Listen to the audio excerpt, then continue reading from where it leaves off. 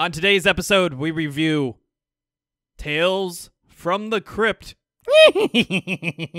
oh wait, no, Not that's that the wrong. one. That's the, that's the wrong one. Oh, circa fuck. 1972. Stay tuned.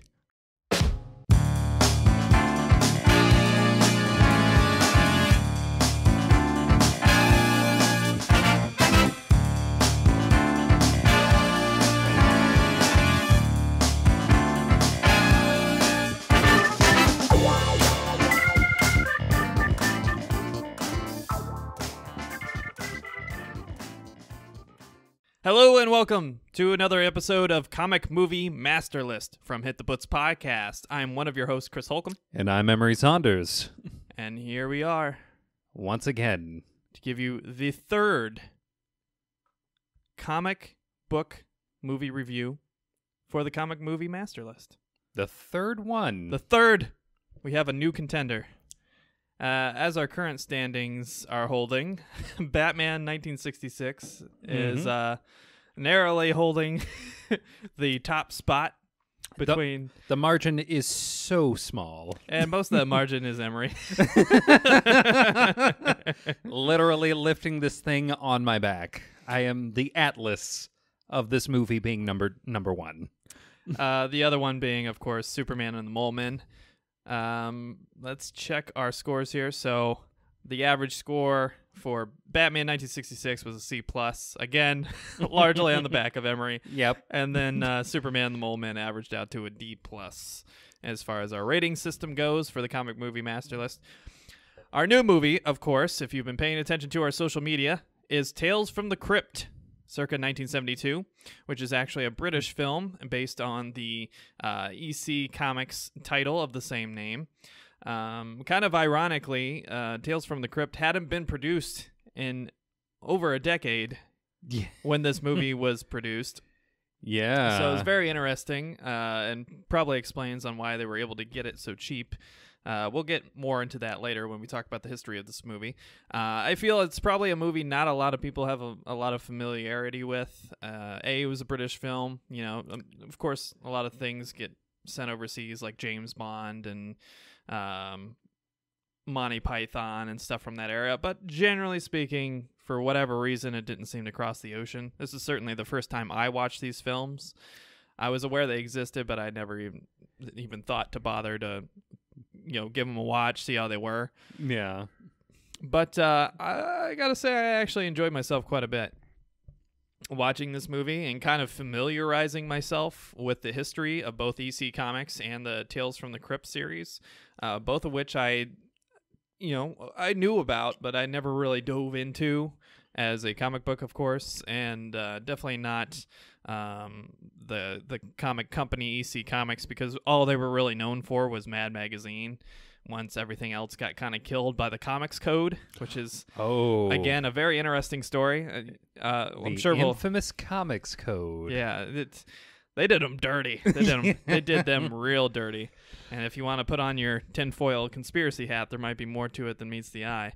Um, Hold on, I forgot to bring my aluminum. it's a really interesting history. I, we probably won't go too deep into it. I'm, I'm thinking about starting like a history of series for different things, you know, in comic books history. Yeah. Um, so I might save it for something like that, and I think this might even be a really good starting point Hmm. if uh, I put that together. But uh, we'll see. It, again, it all it's all dictated by time. Um, uh, if you noticed last week, we didn't have a an episode again because we're in quarantine. There's no comics coming out, and there's not really a ton of news beyond you know depressing stuff. We wanted to focus on getting this episode and this review done. So uh, this is what you're getting this week. Uh, we will get more regular episodes going again closer to the new releases actually coming out because we felt like we, we were just constantly talking about releases that weren't actually coming out Yeah. and still haven't come out um, just because of the diamond uh, shutting down issue Yeah. Uh, so, anyone wondering uh, what books we're hitting up this week? Uh, the answer is none.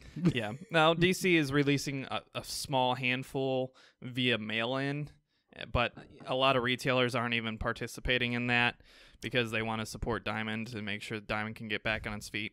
And uh, if you have the time, I really highly recommend you go listen to the latest uh, Fat Man on Batman episode where they actually interview the founder and president of Diamond Distributors. Um, so Oh, Geppi himself. Geppi himself, yeah, he- oh, he's he's actually a pretty seems like a pretty cool guy. I don't know. um, he came off pretty likable, no, despite he- being the the monopoly, you know, overlord of the comics industry. Uh, here's the thing with Geppi, and I think I will say this and leave it at that. Geppi is likable. His likability is so well known that this is the the single biggest reason why no one has ever wanted to compete with him. He's the the way that he conducts business, it's like a benevolent dictator. yeah, I'd, I'd say that's fair. It's a fair yeah. assessment. And Uh, the, the ironic thing is the two competitors that have sprung up to kind of assist DC at this point in time, they're supplied by Diamond.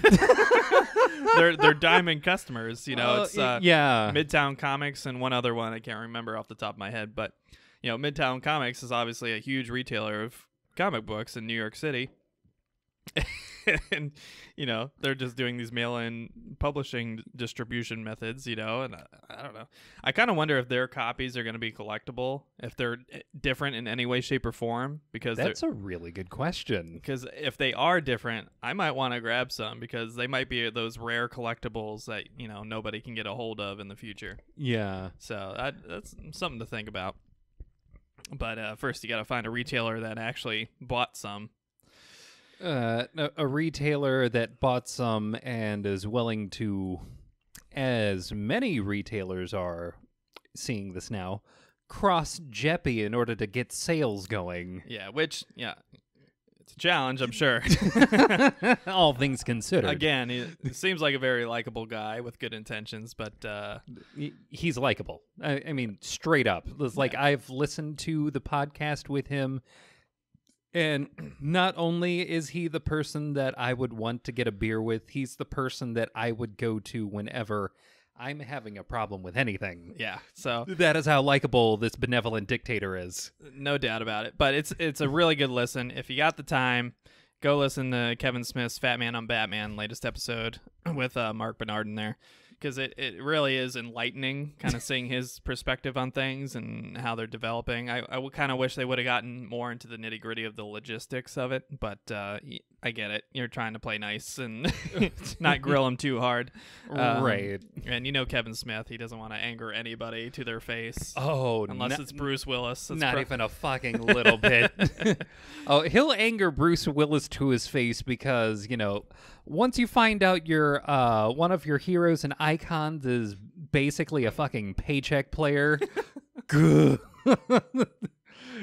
Speaking of paycheck players, did you see that Harrison Ford almost wrecked his plane again?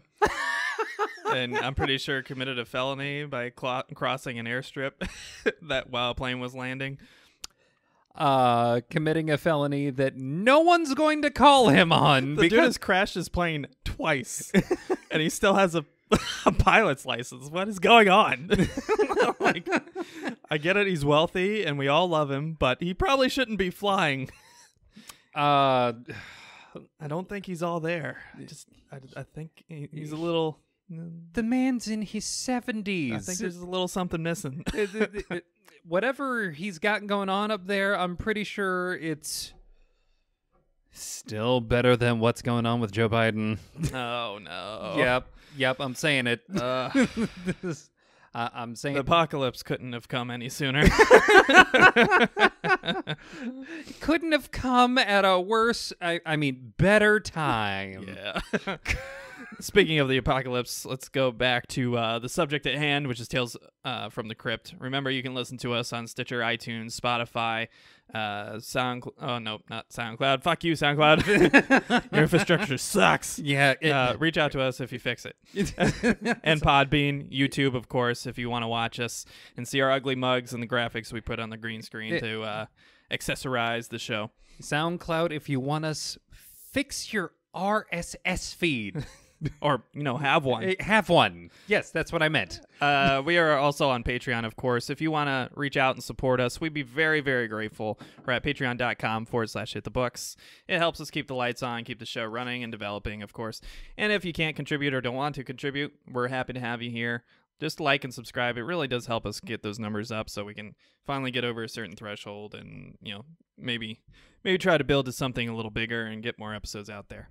All right, so back to the movie. Tales from the Crypt is a 1972 uh, British horror film that was directed by Freddie Francis. Now, this was produced by a company that was known almost exclusively for making anthology horror films. So basically, every single one was a collection of like short, you know, film, almost like TV episodes, but in, built into a, a full feature length movie. Yeah, these were vignettes. And they all pretty much had the same concept where there was some kind of setup for a group of people to come together and then some thing would cause them to either relive things that have already happened or see the future or whatever the case is whatever you know plot tool you need to combine these separate totally separate entities into one cohesive movie and then have some kind of collective ending with Yeah. all of the parties involved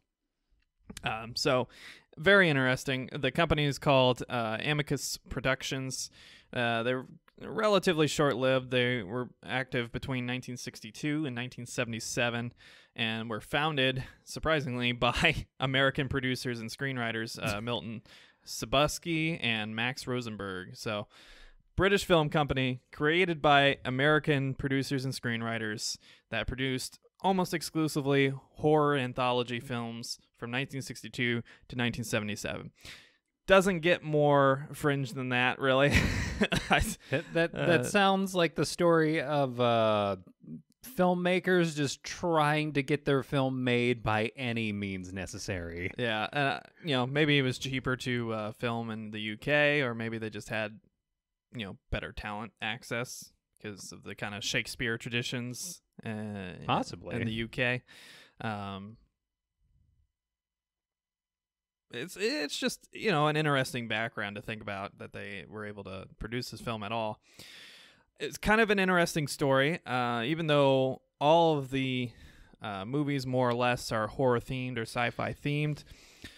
They didn't have the rights to any specific product until um, one of the producers really fell in love with an old comic series called Tales from the Crypt and um, The Vault of Horror and um, a handful of other EC titles, uh, similarly named. EC Comics was kind of known for being the kind of edgy, more adult themed books. They were generally horror books, although not exclusively. There was plenty of satire, and they really kind of pushed the envelope in the 50s, which led to their demise, unfortunately, because of uh, American politics and uh, a very strong conservative movement that uh, basically babied every comic book product down to what we laugh about and the campy over the top This is what uh, happens when executives come to the conclusion that something is meant for children.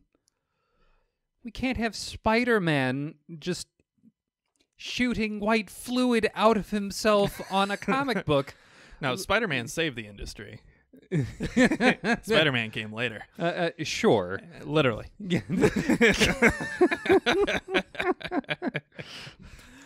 Um, uh, love isn't always on time. but again, I'm not. I, I'm not going to jump too far into the weeds because if we do, we'll never get through the actual review.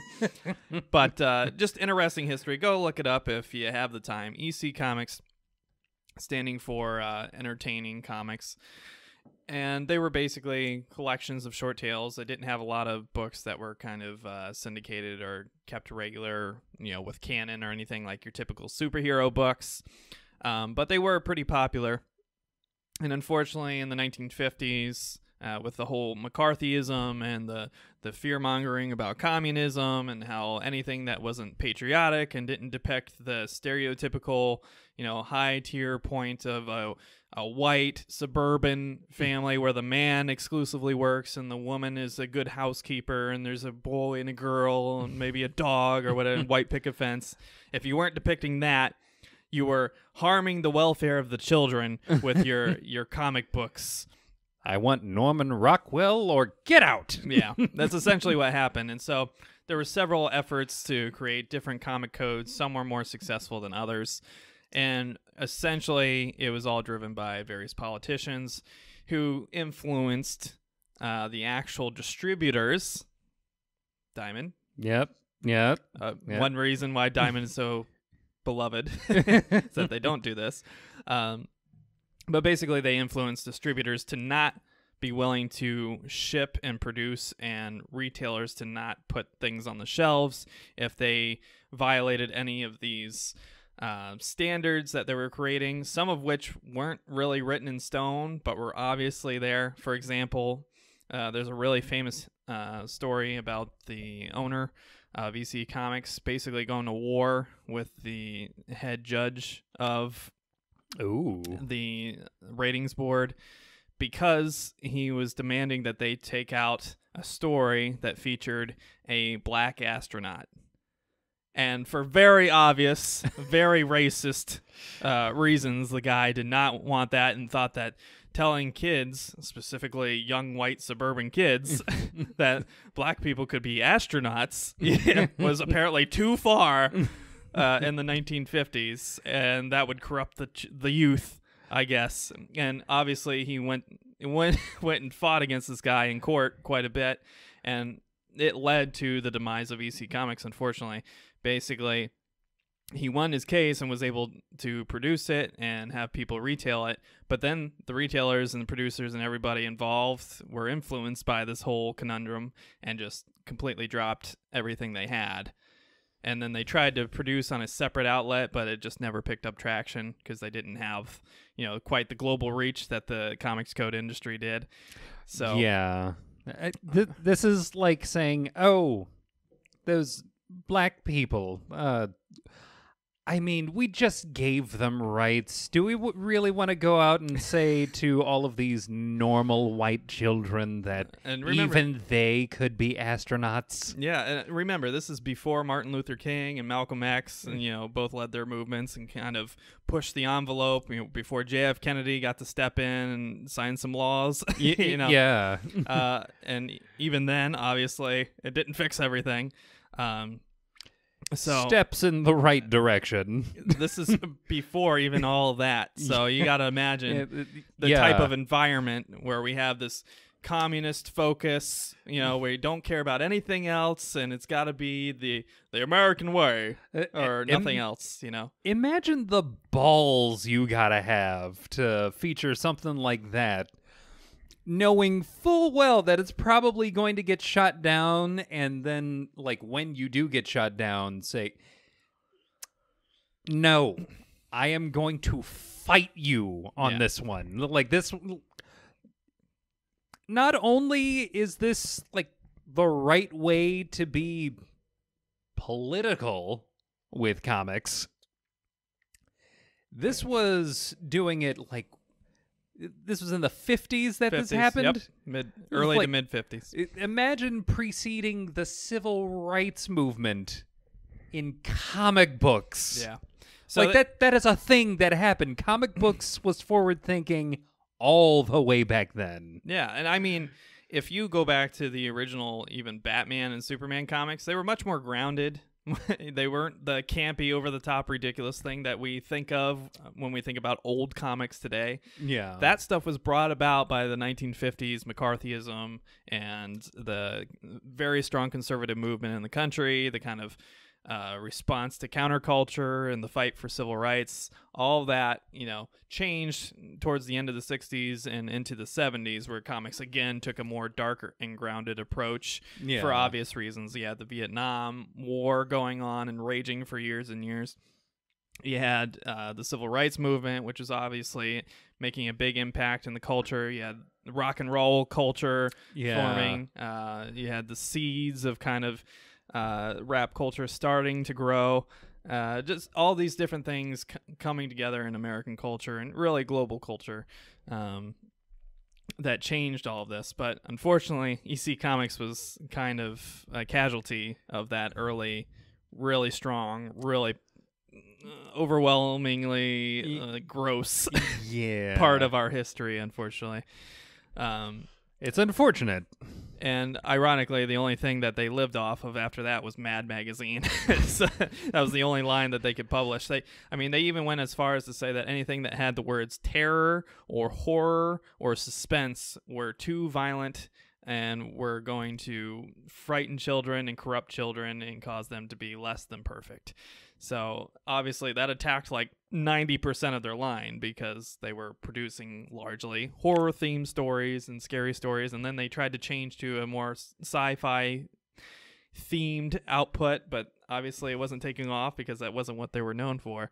Um, That So- that brings me to the uh, realization that like one of the very first things that the character of all characters that uh, would have been offending this Ant Man literally came up in a comic called Tales of Suspense. Yeah. So it's it's very ridiculous. Very from a modern perspective, you're like, what the hell were they thinking? Why was anybody agreeing to this? You know. it's like who went along with this? but you know, it's just thing. You know, in the '80s, they had the whole you know escapade against uh, metal music, and basically they wanted ratings on all of the albums or whatever because the Judas Priest was causing kids to worship Satan and. and they were corrupting our youth to murder people. Oh, and- that's what Judas Priest was doing. Yeah, He apparently. wasn't just doing dudes. I mean, that, when you when you have Dee Snider from Twisted Sister having to go into court on the behalf of the industry because you're so stupid, I, just, I just you know He- made a music video that was literally inspired by Looney Tunes. yeah, it's it's the most ridiculous thing, and it it, it happens in cycles in our country. Unfortunately, It- yeah. it comes in again, and then it gets rebelled against, and then it goes away, and things are kind of okay again, and then it just Previously on Think of the Children. yeah. That's exactly what they were saying. Yep, Think of, of the, the children. it's just ridiculous. Um, but uh, again, if you are interested at all and have the time, it is worth looking into. and I'm I'm sure at some point we'll do a, an episode about the history of the comics code authority and all this other stuff. Sure, we could do at least a couple on that. But uh, back to the movie at hand. Uh, so it, at this point in history, the the the comic book was beloved for a lot of people that were invested in it, but it had been dead for a long time. So the producer was able to get the rights to Tales from the Crypt and uh, the Vault of Horror, which were both EC properties, but that had just not been used in a long time, and obviously didn't have a lot of value anymore. And so they got the rights and they basically followed the same protocol that they did for all their other movies. same layout, anthology, uh, you know, organization, four or five, six people at a time coming in and each having an individual story that culminate in one big collective story. And that's exactly what happens in this movie. Um, it was reviewed actually fairly well. It got a fairly good reception uh, which is always good to hear from any kind of comic book movie. So hopefully, It was definitely good for us to hear going into this. yeah, uh, very encouraging. Again, kind of small budget. Uh, they spent uh, roughly about 120 euros, 120,000 euros, I should say, um, on the movie, and they made their money back and then a little bit of profits. So not a, not a huge blockbuster film. You can imagine it was probably a limited release. Uh, as far as its distribution, uh, being a British film built by, you know, a fairly small film company, um, but it's you know it, it lived up to the uh, the hype for a lot of people, and you know while us watching it from a modern perspective, you got to kind of set your expectations because there's some effects in there that are like, whoa, that did not age well at all. Nope. nope. Uh, Um, definitely very early cinema that's being portrayed here. Yeah, I almost feel like it would have looked better in black and white just because it would have hidden some of the color things like the blood. Yeah. There's some moments of blood where it just looks like the, cherry sauce from like candied It- cherries. it looks like paint. No, Yeah. like that. That is one of the biggest issues with this thing, and mind you, that is a a minor thing. It's like the biggest issue being like issues with color. The fact that it it definitely should have been in black and white because portraying blood on the screen wasn't as advanced. Yeah.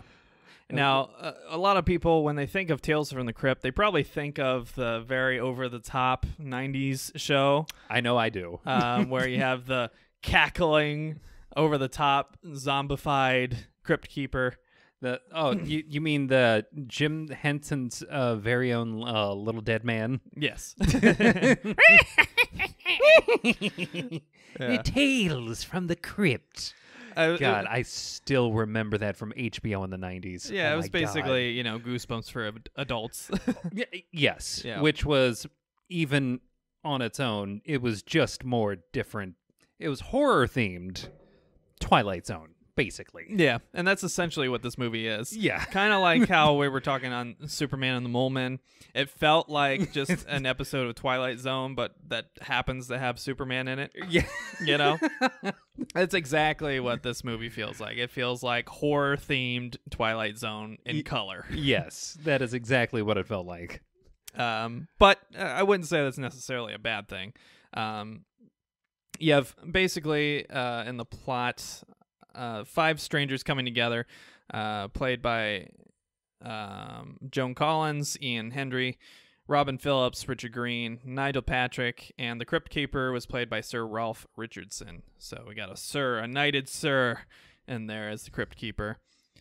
And he certainly has that uh, very over the top Shakespearean vibe about him when he, he says his lines. This man sounded like he belonged in a museum. Straight up. yeah, I, it was it was cool. I I I'm, I'm gonna be honest. I I kind of enjoyed it all in a campy sort of way, Uh, more so than Batman '66. I will say that I actually appreciated the format uh, of these stories, uh, specifically them, like the the way that this entire like collection of stories is told is that getting into the beginning of this, every single person that you meet uh, that comes into this crypt, they're all uh, seemingly on a tour and then they get led underneath uh, into the catacombs and they're told the the history of the monks there that were you know practicing their faith openly before Henry VIII had uh, needlessly persecuted every single last one of them they then get led into what is possibly the most ominous looking room in a catacomb I've ever seen only to be met by an aforementioned monk. Yep. That monk being Sir Ralph Richardson. And there he was, in the most obvious situation that you do not want to be in. It's Uh, like you're you're in a stone room, which like- that by itself should be like an indicator that I don't know what you did in your life before, but if you find yourself in a completely stone room, somehow you fucked up. Yeah. I, honestly, I I think the only reason this film works is because they're all British and polite. Yep. Yep. Almost entirely. You know, a fucking American would be like, "Yeah, this doesn't look right. I- I'm just gonna go back the way we came. Thanks." You know, because once they walk into the room with the big giant skull and the single guy sitting on a throne, it seems kind of obvious that maybe something's not right here. this is like wait there's there's a skull behind. Um. Uh. The, the- where's the exit? It was where's like the exit? it was like the Temple of Doom from uh, Indiana Jones, you know. like who just walks into one of those? But basically, they all raise a, a, whole, you know, a very posh fluff about everything, and Raising a good old harumph about it. and basically, the monk's reply to them is all in good time. All in good time. Have a seat. All in good time. I assure you, I have a purpose. Yeah. so again, there's foreshadowing all throughout this. Again, go watch this movie because there's eh, minor spoilers. But three, two, one, you've been warned. Yep. In the introduction, where they're going through the catacombs and being led through on this tour, um, the gentleman behind the first character that talks about her story, uh, he picks up a pin off the ground and hands it to her, and it's this big flower brooch. It's very obvious. Well, that becomes a key feature in the first story that kind Yeah. of foreshadows what's going on here. So the monk kind of calms them, and the monk is eventually revealed to be the crypt keeper, more or less. From the comic books, which is, you know, the original Crypt Keeper was a little bit more animated, but still the aesthetic of the original comic book Crypt Keeper. Not so Yeah. much the. Henson version. Is the, the a crypt keeper that looks like he could actually keep a crypt? Yeah. a- As opposed to just being a skull puppet. Yeah, exactly. Um, but basically, he's very vague about things, and all of the people are kind of on edge and kind of yelling at him. And some of them sit down and comply; other ones are st- just remain standing and you know belligerent, basically. And he asks about the first woman's plans, and then he kind of repeats himself after every individual conversation, a word. In this case, it was about plans. So it jumps into a story. Uh, and something to mention real quick not all of these stories are from the comics. Some of them were taken straight out of the comics, two of them specifically, and then one was taken, or two were taken out of a written book series from about the Tales from the Crypt, Hmm. and then one was actually taken from another EC Comics series. Uh, let me pull it up real quick. The Haunt of Fear. So, oh. the first story was from The Vault of Horror. So again, not Tales from the Crypt. The Vault of Horror number 35. Yeah. Second one was from Tales of the Crypt number 23. Uh, the third one was from Haunt of Fear. The fourth one was from The Haunt of Fear, which is the the book series, and then uh, Blind Alleys was from the Tales from the Crypt. So only two were actually from the ti- titular comic book, ironically. And then the follow up movie, which we'll re- be reviewing next, is called The Vault of Horror, which features five stories from Tales from the Crypt and not The Vault of Horror. so it's all very confusing how they got the rights and then proceeded to not use them. Uh, kind of a bit of a switcheroo. yeah, it, it's strange. but again, every, everything about this seems like a strange uh, organization. So, um, essentially, we jump into the first story. It's Christmas, and you see the introduction of this mm, middle to older age gentleman who is putting presents under the tree for his beloved wife and he reads off his card for the best wife blah blah blah whatever the case i can't remember the specific wording he used but something along those lines. Then sits down to read the paper. Then the next thing you know you hear a thud and you see blood splatter on the newspaper cool effect and fun note i don't know if you noticed but i noticed a richard pryor cameo on the back of the newspaper No. when he first opens it up, there's a big print of Richard Pryor right there. I was like, yeah. of course, Richard Pryor famously was also in a comic book movie, Superman 3. Ooh. It wasn't good, but we'll get to that on a future episode. oh, we will. My God, that movie. I'll say this: it wasn't Superman 4: The Quest for Peace. It's true. I like how Richard Pryor basically does the same exact role that Jamie Foxx did in Spider Man. Which is computer nerd. And a totally inappropriate, you know, character play. I don't know. It Y- just y- yeah, but doesn't work. n- neither of those characters make sense on their face. No. um, but we jump into the story. Essentially, the the woman kills her husband and is basically trying to murder him for the insurance money on Christmas Eve.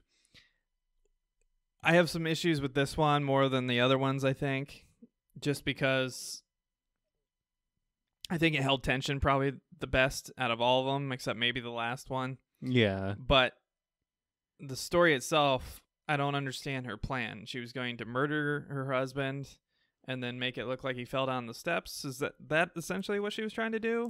Uh, until it got interrupted? I think this was entirely a situation of improvisation. As uh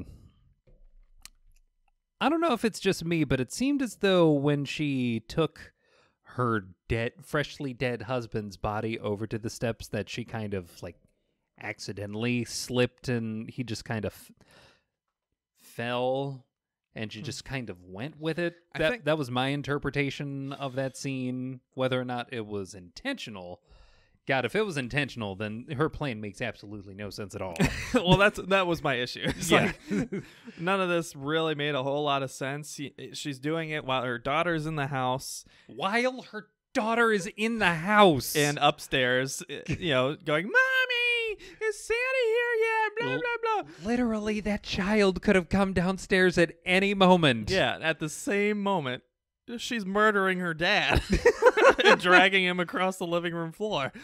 Uh, so, interesting concept. I th- yeah. I get what they were going for. I think they were less thinking about the logic of the situation and more just trying to have the imagery of the daughter being there and showing just how cruel and vindictive this woman was being. Yeah. Uh, it's hard to say what the situation. It's not. You would think it's maybe it's like a gold digger or something, but she has a, a daughter who's like five, six, seven years old. Like cle- not not a baby. you know? Yeah. So clearly, it's not like they haven't been together for a long time, and she's murdering him for the insurance money now. right. This episode also brought up something that I really hate about 70s culture, and that is the fucking furniture. It is the aesthetics of the room are fucking horrible. You got those bright green furry rugs and just ugh, it's the worst. And she has like a phallic phone later on when she she thinks about calling the cops. She she has this phallic device that she has to dial through through the sphincter. like dialing in someone's ball sack. Yeah, I'll put a picture on the YouTube channel if I can find one on the internet. But No, we're trying to actually put this on YouTube. trying not to get flagged. it's a phone. but it was it was uh, rough, rough aesthetics. But uh, she totally has that kind of Bond girl vibe, that you know, the spy who shagged She me type of vibe. definitely looked like someone who should have been a Bond girl. Yeah, for sure, for sure. Oh yeah. Um, but basically, she murders her husband. She's trying to think about how she can, you know, make it look like an accident. And th- this is where I think I disagree with your on with your interpretation Mm-hmm. because the crypt keeper keeps saying plans to her. Which makes me Mm. think she was planning this, you know, and then the plans went awry when the crazy, you know, psycho from the local psych ward right. started trying to break in. Uh, so basically, long story short, she's trying to pacify her her daughter and make her go to bed and stop asking about Santa and all this stuff, so she can successfully make it look like her, Like, the it- father tripped down the stairs and, and died instead of her bludgeoning him over the head with a basically a fireplace spike. We're not given any reason solidly outside of the safe that she ends up opening like almost immediately after killing this guy. Um as to why in fact that she wanted this guy dead in the first place. it seemed as though like she was getting the the title to a deed or an inheritance or like a business or something. Yeah, and then she was so brazen that she actually took it with her up to her daughter's bedroom and, Yeah. and put it on her lap while she was tucking her into bed and stuff. Right. And then the kid asks like, "Oh, what's this? Oh, it's nothing. It's nothing. Don't worry about it and give it." uh, um, I think by far, uh, I, I would assume you probably agree with me. I think this one, this character is probably the worst of all of the characters. Probably the poorest conceived. Yeah, I think the some of the other characters are like, uh, uh, I don't know if you deserve the end, uh, but okay, I get it for the sake of the the movie. Right. But this one is like, yeah, you you Uh, oh, deserve oh, what you yeah. got, one hundred percent. Literally no one in this entire movie deserves the end of this movie more than this lady. Yeah, for sure. so basically, uh, the radio start turns on, and this is what gave me very strong Twilight vibes. was the radio announcing, Oh, you know, yeah. that a psych a psych ward had lost one of its uh, patients from the criminally insane psych ward, and he's expected to be very uh, dangerous. And make sure you lock all your doors and windows and this and that. Oh, and also he's dressed like Santa Claus, so maybe be on the lookout. Yeah. So she drops the dead husband to go lock the doors and close the sh- the shutters and stuff, and then goes back, and then she notices Santa Claus outside. It's like, oh no. Yeah. Guess who showed up on the worst of nights? of all the times that this guy could have been released. Homicidal Santa Claus. So uh, she starts closing the shutters and she's hiding and she picks up the phone to call the cops and then she looks at the dead body and she's like, oh no. You know, now this is where, again, I have a huge problem with this particular story. Yeah. I would just call the fucking cops and say that the crazy Santa Claus murdered him. You know, like that's the perfect out. The perfect alibi. Your Uh, your daughter will not blame you. Okay, he, here's the thing that also makes me think that the whole falling down the stairs was an accident.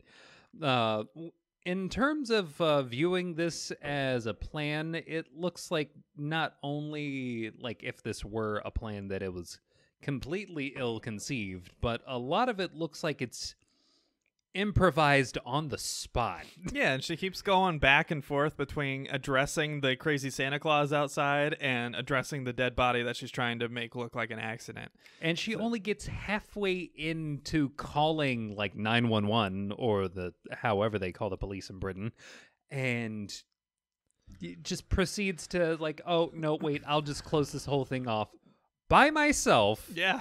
Handle this dead body by myself." And uh, like she even takes the like- time to wash everything It's and like wash it out of the carpet because that's what we care about right now. Uh, she like puts try to the like Richard Pryor newspaper in the fire. How dare she? How dare you put that man on fire? he does that to himself. Thank you very much. uh, she then like scoops up like whatever little bit of blood paint yeah, it's, the blood's pretty rough, and especially in this episode. and tries to pour it in what sound or looks believable. It's Yeah. like let me just glob some on his head, yeah, and from a little wine glass. and and just on the ground here, and then. Uh, let me just make sure all of my my windows and doors are locked. And where's my child? Meanwhile, she knows that predatory Santa is circling the house. Yeah, And yes. she thinks because she locked a shutter that she's, she's perfectly safe. So, yeah. Oh, he's crazy, but he won't break the windows, right? surely there's not a back door. I don't know. It's just also, where's my child? a lot of goofy things, and you, I, this is where the story has its you know crazy twist at the end. yeah. The child, of course, looking for Santa Claus and refusing to go to bed because she wants to see Santa Claus. See Santa Claus, and decides to let Sandy in. and the mother, the mother comes out from successfully framing the body as you know dying on the steps, and the daughter pops her head out from behind the curtain. She goes, well, guess what I did? and she looks up at the door, and her daughter's bedroom door is open. She's like, Santa Claus is here. And then the, the murderous Santa Claus bursts through the curtain and chases her over by the fireplace and starts choking her to death. And then, w- w- w- roughly, yeah. Now, now, mind you, before she had suffered from the most deadly shoulder rub of her life, um, when the child announced she found Santa, my first response was, "Oh no!" I mean, the I will say this: the ending to that story is the fucking best. Your fucking shithead kid ruined everything. Not only does the shithead kid ruin everything, but the kid gets to meet Santa Claus. And, And- watch him murder her mother. and by that, I mean proceed to give the child the gift that she really deserves. I mean, to A, be a fair, mother who's not a nut. Yeah. well, I guess she gets all that insurance money now. So Yep. Santa brought you a present, I suppose. and then she can grow up to be Batman. I, yeah. I mean that that's that's how Batman happens, right? Uh, she Sure. sur- survives. Uh, Right, a- Bob. survives a uh, an insane asylum patient coming and killing both of her parents, only to receive what I'm assuming is at least some kind of fortune. Yeah. So I I really enjoyed the ending of this story, probably more than any of the others, which kind of redeems the whole story because of how illogical some of the things were. The ending is just so good for that one. But it kept you engrossed. So, Yeah. which is important. So it's like, oh my god, what's she gonna do? yeah. so I enjoyed the first one. Then it flashes back, and she's kind of like realizing that did this happen? Is this this a nightmare? What is he describing? I'm, what I'm going to do? But remember, she's wearing the brooch that was in the gift. yeah. um. So clearly, this is after the fact. Right. Foreshadowing.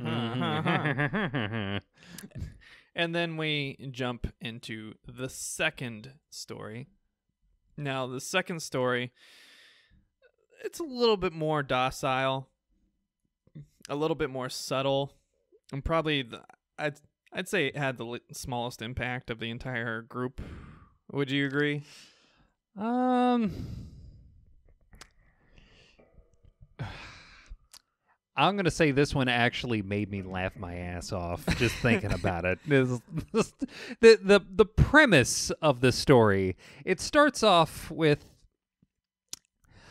uh well uh, a guy planning to go on a late night business trip Yeah. uh, which uh, that's code for he's going to see another woman. in, in case you didn't know that already, um, he then goes to you know meet this. I'm assuming much younger woman. Uh, uh, didn't really get to see the uh, like the actual like mother of his kids for all that much. You know, watching this episode, it really reminded me of the wife and the eventual new wife of Don Draper from Mad Men. Oh, They look exactly alike. oh my god! Both of the women, both the wife and um, the the I guess mistress, yeah, both look exactly like the new young girl from Mad Men and the original wife from Mad oh Men. my god, you're you're. which makes me wonder if the writer of that show or the director or the casting director whoever was involved in that decision was influenced by this at all Maybe because maybe. it was very reminiscent Yeah, they, look. Just thinking back on it, they do look really similar thematically. they God. really do even their hairstyles and the color of their hair and their Yeah. age Yeah, it's very they have two kids yeah. Oh a my boy god. and a girl yeah Oh, it's very very familiar it, it felt like don draper Yeah, it yeah. And then we get to the M. Night Shyamalan part of this, where, okay, yeah, he he has come to the conclusion where he's actually going to, uh, up and leave his wife for this younger woman, because and abandoning his kids. You know, it's kind of it's kind of sad when Yeah, you I- I think mean, about it because he's it's he's sad saying bye to his up. wife and he's like, like trying to s- avoid saying bye to his kids because obviously he cares about them a lot and Yeah. he kind of reflects back on it later in the episode you know obviously he has a very painful goodbye that they, the kids don't obviously know is a, a permanent goodbye yeah. and then when he, he leaves he's talking to the new mistress and he's talking about all of you know what he had to sacrifice and all this stuff you know so it's it's clear that he cares and he knows what he's doing is wrong Yeah. which makes him probably i don't know probably the least offensive of the group as far as what they did wrong That's saying a lot. Yeah. the the well, other maybe peop- maybe Mm, he's he's bottom two for sure at, at the very least, bottom two, because my God, the others. yeah there's some Ooh, some are really bad ooh. The first one being the the worst by far. Oh yeah. Started off with the worst, and then we got like probably the least to second least offensive one of these Yeah. people. Um, what happens, uh, like during the whole like, oh, I, like I found the the woman I actually love, and I'm going to run away with her, and I'm sorry, kids, but uh, uh, uh, I'll find you eventually, or you'll find me. Who knows? Um, proceeds to you know they they switch you know because they're driving a long way they they switch seats and he falls asleep and has a really really bad dream that he violently wakes up from and at, almost immediately after violently waking up from it uh realizes that oh they're about to hit something or as i said oh my god i forgot that i'm letting a woman drive 1970s. it's like, oh no, this is like I, I'm not gonna trust you to steer clear of the thing that's about to hit us head on. You're not doing it, so I've gotta. Yeah, control freak for sure. Yeah, th- this guy proceeds to get both him and his mistress into a car wreck. And then well, the point of view changes for a little bit. Yeah, we changed to a first person point of view. yeah, that was that was a bit of a bit of a shift. Yeah, which is kind of I don't know, that's probably pretty original, especially for the time. Yeah, that I can't think of anything prior to that that I'm aware of. I'm not the biggest, you know, old movie buff, but I can't think of a single example where they have a first person perspective like that. Yeah, neither can I. Uh, like not not in the 70s. So that was actually super creative and super cool. Mm. And again, you know, they got a lot of praise critically for this film. So you can see like little sparks of like imagination that are like, oh, that's pretty neat. Yeah. uh, this leads into well, the uh, Shal- uh M Night Shyamalan twist. I know how to I say love me Shyamalan. some Shyamalan, you love yourself some Shyamalama Shyamalan. Ding Dong. love his movies. Yeah, yeah, his his movies are wonderful. Um, the the twist comes in which, from a first person perspective, we find what we're assuming is the guy who was running off to be with some other woman. Uh, he's trying to get back home, trying to figure like get back to his life. Oh my God! Uh, like I just about died. I realized the error of my ways, and I'm going to go back to my wife and kids. And what the hell is this other guy doing in my house? yeah. What the hell is my mistress saying that I'm dead? um, um, what what happened? Well, I need to look into it. Ah! Yeah, so basically, he, the big buildup is he he stops and tries to get people to hitchhike him back into town, but they stop and they're like, "What are you doing? Get out of the road!" And then they look at him and scream and drive off and run away and all this stuff. Then he goes to his original home where his original wife is and looks at the little placard next to the doorbell. I guess people used to put their names next to their doorbell. I don't know. like it was a fucking office or some shit. Uh, it's probably a bad idea today. I don't want people to know that I live here by name. Yeah, and he noticed that the last name is completely different, Yeah. and so he knocks on the door, his wife opens the door and then screams horrifically and slams the door shut and then runs inside and he looks in the window and there's some other guy consoling her and she's hysterical and won't talk about what what happened. So clearly you're getting the idea that he doesn't look like he's supposed to look. Yeah. Um, and so he goes to his mistress's house, and before she had all the furniture gone because she had shipped it to move wherever they were running away to. But uh, he knocks on the door, and she opens it, and she doesn't freak out or anything like the other, the original wife did. And then he says who he is, and she goes, "That's impossible." Blah blah blah.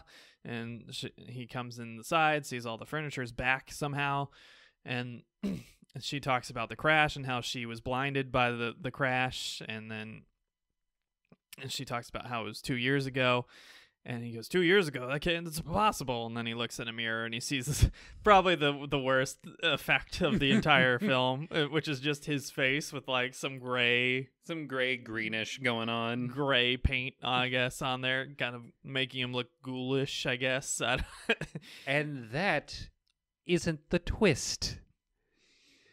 The twist is that was his dream. Yep. and so he wakes up, screams, and then Ah! then crashes, and then honestly, I think the director just liked that they got that sequence down and It just wa- had to put it in there twice. It was so nice. It was worth doing twice, I guess. and then flash forward, we're back in the crypt uh, with the other individuals, and that's the end of that story. Oh yeah. I'm back in the crypt again. I'm back in the crypt again. So we're back in the crypt again. And oh yeah. this is where the third individual he's probably the youngest may, maybe the woman's younger i don't know it's hard to tell Yeah. but he's probably the youngest in the room and he he's got this nice black suit on with a, with a flower on the lapel again kind of foreshadowing I- yeah. from the story. Kind kind of wearing his sin on his sleeve. yeah. And they go back and forth and you know asking why he's there. He doesn't understand. Then they flash into the story. Now this one this one i probably in i don't know This one actually hurt me. This, one- yeah, I was gonna say this one probably had the most impact on me personally. like, this is the one I'm gonna think about when I'm trying to go to sleep at night because it's basically a story of how this guy terrorizes this poor old man. This poor And- old man who did nothing to deserve this Literally- terrorizing. literally nothing. Except for literally living in a neighborhood where this guy lives. It's only because of living close to this person that all of these bad things happen to this poor old man. Yeah. So Oh, the story focuses. It starts with this very friendly old man. Now, mm, I kind of have a problem with this old man. uh, okay. There, there's a very, there's a very modern problem with this old man. Well, like it, it was it existed back then. We I- just didn't talk about it. right So- like modern sensibilities would have precluded this situation from ever happening like even like 20 to 30 years ago but in the Yeah. 70s specifically in the 70s in britain Yeah, it's it's rough. y- yeah I, it, you have to suspend your disbelief a little bit for the story to make sense and for you to sympathize with the old man, of course. a little bit a little But bit. uh, it's a little weird that the old man just has these children coming into his house every single day, and he's giving them candy and toys every single day. Uh, he is he is revealed to, and I don't know if this makes this better or worse. Um, he is revealed to have been a toy maker, i- Yeah. like in his uh, younger years. Yeah, so it, you know, there's precedent for it to be happening, but and he's obviously portrayed as a very sweet, kind old man. But it's hard to wonder From a you know, societal perspective, he's not a pedophile. i- i- it's very difficult to see literally the entire neighborhood not paying attention to their children at all and just letting them into this old single man's house yeah, by himself. yeah. it's a little What? It's a little suspect. What? a little suspect. Uh, uh, okay. I'm going to make the same argument that I made for the situation having to do with Michael Jackson. While nothing's been proven to have happened, if something did, that man is not the only guilty party. Those parents are entirely complicit in anything having happened by Yeah. way of negligence. Terrible negligence, to be honest. terrible, blatant, neighborhood welcomed negligence. These kids are just running around with like no one watching them. No one. Yeah. So basically, uh, this is a very kind old man. He's very friendly with all the kids. He has a bunch of adopted dogs that he houses and lives with. His wife is deceased, and he has dinner with his deceased wife on you know her picture every day, and has a very simple, hearty life where he's just not bothering anybody really. And unfortunately, he's got the main character as his neighbor who is Yeah. angry at the old man because he's too poor to keep his house upkept to maintain property values and make everything look nice and pretty like all the other homes in Yeah. this suburban community. Uh, very uppity, very you know high and mighty, talking about how rich he is and how This good guy- their finances are. This guy belongs on some fucking Downton Abbey bullshit. Yeah, and he's I I'm guessing it's his father that he's staying with and talking to the entire time. That is an assumption that's made. I don't think that uh I don't think the old man's name is mentioned or much and if his name is, I'm pretty sure I don't remember him mentioning his relation Yeah. to our main character for the story. Whoever he is, you would think he would speak up at some point and be like, "Yeah, maybe you shouldn't do that. Maybe that's that. No, uh, leave the fucking old guy alone." Right. you know. But the I- old I- man's just like, "Nah, I'll read my newspaper." I'll, I'll read my newspaper and not look out for a fellow old man in our community. Who he even talks about being as a very nice, you know, good man. You know, It's like uh, I'm sure if I just talk him up, I will dissuade my uh, young gentleman friend from like doing anything to him. Quite the opposite, actually. Yeah. So I feel like that guy's just as at fault as anybody else. Uh, and he's in com- fact, the entire town's kind of at Oh, fault. Oh yeah, they're complicit. At the very least, they're complicit. Yeah. So basically, he comes up with a scheme that he's going to terrorize him in a variety of ways in order to get him to sell his home, hopefully cheaply. Yeah. Because again, you know, it's not only about getting this guy out of the neighborhood and fixing up the house, it's about getting it cheap. And so I can keep my money. so Doing things on the up and up, as it were. Yeah, he starts by going into the neighbor's yard at night and destroying all of the b- beautiful roses that he's grown over years Uh, And- the the neighbor next door to the sweet old man. Next door to the old man. Yep, yeah. and frames his dogs for the crime, even though the dogs are clearly fenced the entire time. Which yeah, leap in logic there, but okay, whatever. Yeah. The first he takes his dogs. So basically, they get a court order. The neighborhood, which is obviously complicit, and just Mhm. jumping to conclusions. Yeah. The no neighbor- investigation happens or yeah, anything. the neighborhood has like a neighborhood watch, I guess, that comes and takes the dogs and says that hey, even if you know there wasn't a court order to take these dogs away from you, you don't have them licensed because there's you know runaways that you adopted, blah blah blah. yeah. So the old man's very sad, very torn up, uh, devastated that they took his dogs away. Uh, the next step, he goes around the town and starts telling all the parents that these children have been going into this creep's house and that, you know, it's dirty and filthy in there and that he lives in a cesspool of his own filth and blah, blah, blah.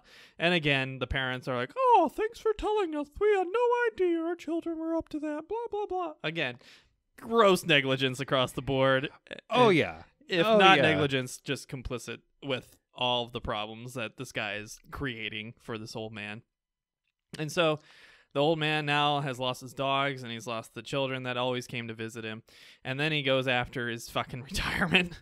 And this is where you're like, "Fuck, dude, leave the guy alone." Oh You know, yeah. how many yeah, years this does he have left? Just leave him alone. th- th- this young man wanted to see this old man completely I, I mean, it's one thing to try to convince this man to move out, but this man completely demoralizes and like emotionally destroys this poor old man. Yeah, in every way he can. Yeah. and he basically convinces the the people that own the business that where he works that they should fire him because he's a gross dirty old man and he's not productive anymore. And they're like well he's only you know two months away from retirement you know I, we can't do that to him and make him lose his pension. And this is where like everybody's complicit again but uh. somehow he's like oh but think of the money you'll save by not paying his pension. And then the guy's like oh okay. Oh. suddenly i don't care It- but money though. It was like not for him, but for me. Like I, I want money for me, so I'm gonna rob this defenseless, poor, sweet old man of his pension that he worked his entire life for. yeah so God. they basically convince him to lay him off or fire him, whatever the 1972 UK equivalent is. And he goes home without a job, still has his high spirits somehow, and he he has this séance, you know, to try to talk to his wife. And Oh, this is the thing that creeped me the fuck out. yeah, it's so like of all the things that we could have had this sweet old man do as a way of coping with this whole situation, we have him engaging in a seance. yeah. Like not helping your case, guy. so he has a séance with his wife, and basically his wife communicates with him and spells out danger. as you do when you're messing with the dark arts. Yeah. and so Also, you, That- you think that that, entire- the spirits could have, I don't know, been a little bit more precise. Yeah. It's like, hey, neighbor Todd is an ass. I don't know. It's like, oh, like apparently when we speak to our beloved from the great beyond, they can only say back one word. Terribly inefficient, guys. Come on. Yeah. and so he has a seance, which I feel like the, of the entire story, that one's the least necessary, Yeah. like part of it. that that could have been completely clipped and the story would have stayed exactly the same. Exactly. Yeah. And uh basically the individual um decides on Valentine's Day he's going to send him as the last straw to break the camel's back and get him to move out and sell his house cheaply. He's going to send him a bunch of angry valentines basically insulting him with all these different valentines cards. And so, sure enough, he receives a bunch of letters in the mail, and he's all excited and delighted. Uh, one of On Valentine's Day. yeah, he was lucky enough that one of the dogs managed to escape, and he has one of his puppies with him. So things are kind of looking up again. He's kind of getting over everything, getting through, and he starts opening the letters, and each one's talking about how he smells, and how he's filthy, and how he's gross, and how nobody wants him there, and blah blah blah. Flash forward, uh, you see the the asshole neighbor and talking to the old guy he lives with, and then they discuss how they haven't seen him in a few days, probably over a week, and blah blah blah. And they decide to go check on him. The door's open. They walk in and they find the guy hanging. He had hung himself after reading the Valentine's cards that uh, the the asshole neighbor had sent to him, and It's like in a con- dealing with a concentrated bout of just one miserable event after the others. Like first you took his dogs, then you took his standing in the neighborhood being okay for children to come over. which eh, It's still Probably th- should have there- done there- that I out. mean, there, there's issues. There's issues with that even being allowed as a thing. Oh, hello, hello, little boy. You want some toys and some candy? I'm just a sweet old man. Are you a pedophile? No, why would you think that? Who taught you that word? That's an awful word. Coming to my cellar. All due respect, Mr. Herbert, sir. I'm a 17 year old girl and I don't need you here. Oh, just a fun fact that I forgot to mention. the actor who is portraying the old pedophile uh, is Peter Cushing, who is actually the guy that was in love with Tales from the Crypt and actually went out and sought the rights and got the producers' permission to get the rights for this. So this whole thing wouldn't have happened at all if it wasn't for Peter Cushing, who is the old man. The sw- the sweet old man is the one responsible for this entire movie. Yep, and he decided to kill himself. oh, he probably just wanted that role. I mean, oh my god. yeah. he gets to be the sweet old man that communes with uh, darkness. Yeah. the Aleister Crowley old man. Now, that actually, that part that could have been clipped out is in its own way in there to justify what happens next. Yeah, so what happens next is a supernatural event. Uh, they flash forward a year to the anniversary, so Valentine's Day again. And basically, they show clips, little bits at a time, where a hand's coming out of the grave where the, the old man was buried. and eventually, you see the full kind of zombified version of him. And he starts walking away, obviously going towards the main, uh, you know, antagonist. And the gentleman that the antagonist lives with goes to bed and he sits up reading his paper again with the paper. it seems like everybody paper. has like six newspapers next to the couch uh, throughout It- the entire show. It was a, a time of newspapers. Uh, newspapers back then are what, well, smartphones are now. Yeah, I, I suppose. I just don't know why you'd have a bunch of old ones. but uh, the zombie goes in there and attacks him, and he leaves, lets out this big scream, which somehow doesn't wake the old guy. But you know, right.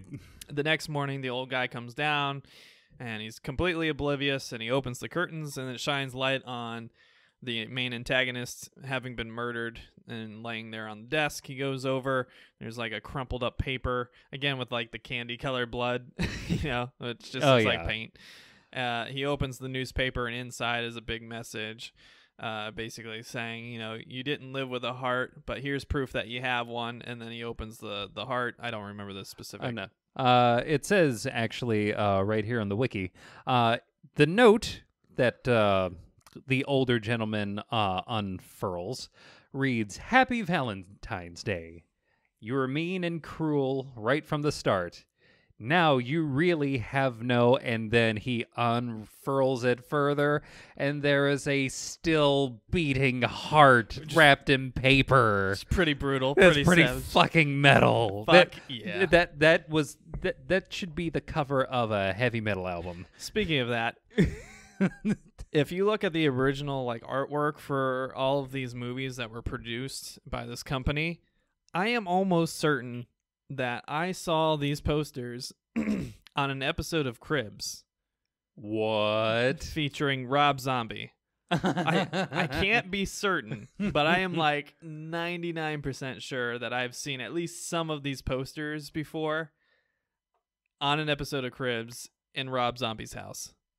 And I would not be surprised because this seems right up his alley. Oh, damn straight it does. Oh my god. Yeah. so we jump forward to the young man in, in the the crypt, and you know you see the flower on his lapel, calling back to his original crime, which was the the roses, desecrating the roses to take the dogs away.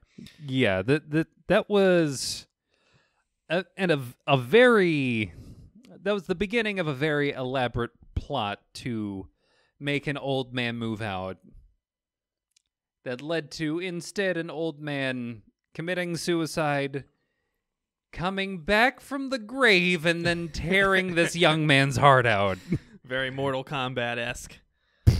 Honestly, they should put that in a Mortal Kombat game.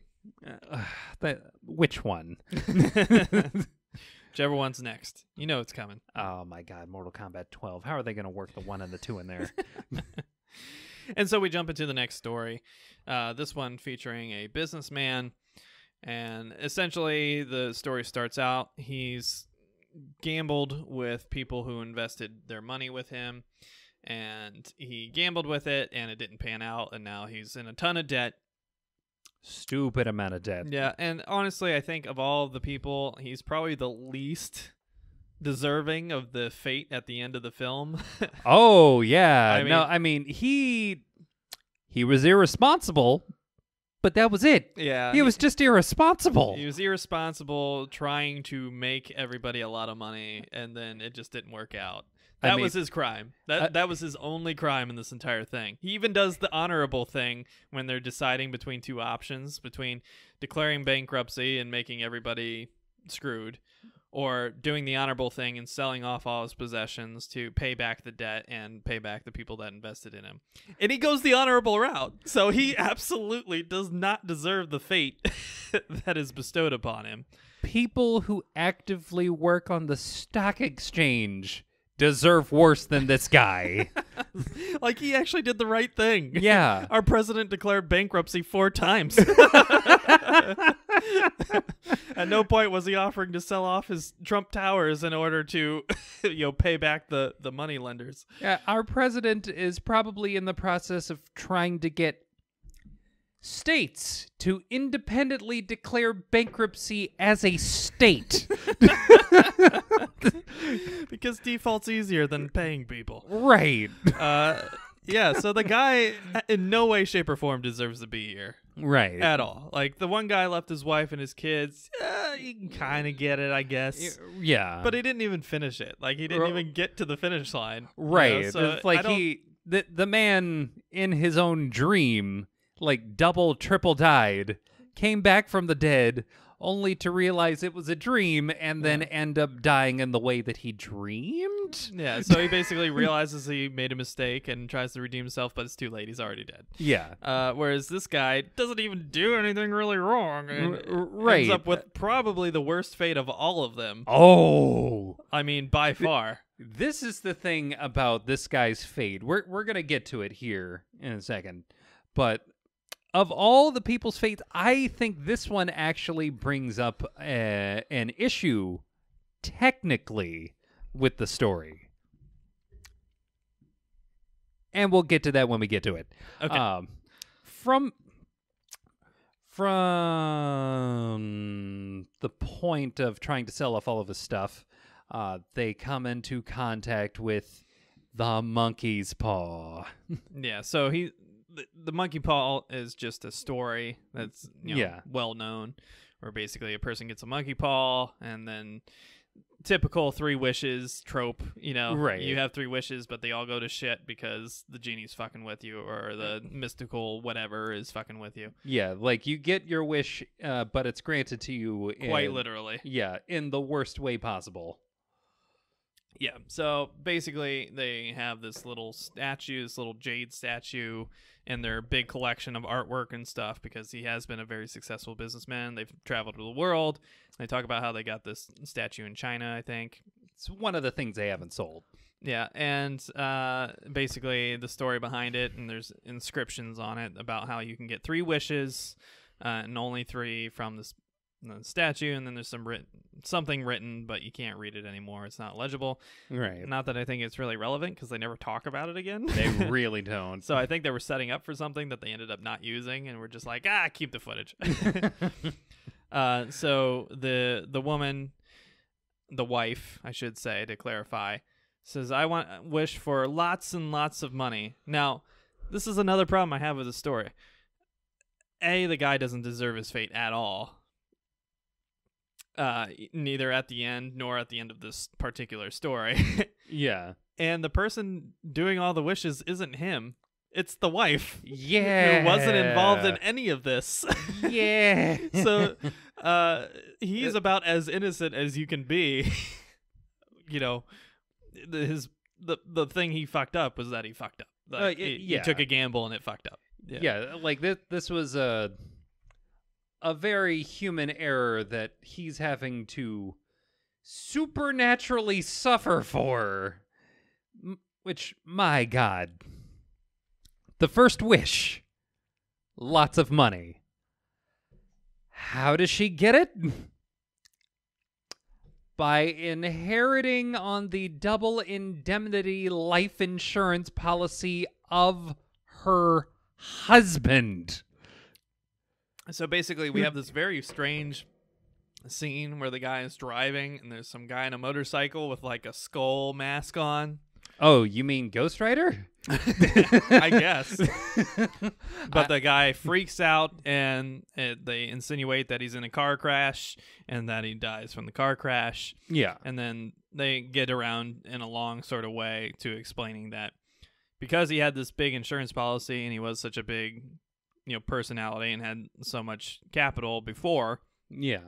that the plan was pretty large and he had been paying it and so now the wife has lots and lots of money as she wished. Right. And so of course, you know, she's realizing what probably happened and she's freaking out and the the associate that was advising him, the financial advisor, uh, from the beginning of the I guess episode or story, um, comes to console her and she s- tells him about the wish principle and then goes to make another wish and he's like, No, don't do it, don't do it and and she does it anyway and sh I can't remember what specifically she wished. Uh, she wished for him to be back. Is that what? Yeah, she specifically wished for him to be back as he was before he left. Before the crash. Before the That's crash. what it was. Right. Yes, she wishes specifically to have him back, and he, the financial advisor, goes, "No, wait. You know, if you wish him back, he'll come back all mangled and stuff, just like he was, you know, after the crash. You, you know, these things are very literal." And so she wishes specifically for to have him back as he was right before the crash, because they're all assuming he died from the crash. Right. And then you have some morticians, I guess, walk in uh, in full garb and top hats, you know, with the mist coming around them from the entrance. And they put down to, uh, you know, uh, horses, you know, the carpenter's horses.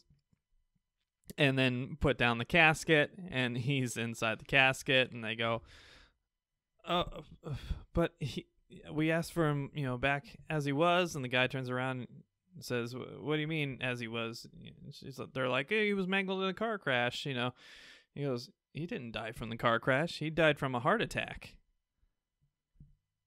So basically, it's revealed that because he was scared of the guy behind him, he had a heart attack, and then the crash happened afterwards. Yeah. So he's still dead. so that's two wishes down. They op- yeah. they open the casket. Sure enough, he's in there embalmed. this is important. it is a very important uh, thing to remember is that uh, our dead man here has been embalmed for the uh, funeral and burial process. Yeah. So uh, the woman freaking out, going, "Oh, I just want him alive. I just want him alive. Uh, I I wish it for him to be alive and well forever." now the problem is she didn't clarify that she wanted him alive as he was before, not as he currently is. Right. And so he's revived, but he starts screaming horrendously and flailing about because he was revived with a bunch of embalming fluids in his veins He's and no blood. He's got no blood. And so he's in extreme pain and he feels like it, everything's on fire and he's screaming for mercy and whatever else. And then the woman freaking out. Uh, this wife is probably the most incompetent person in the room Oh, by yeah. far.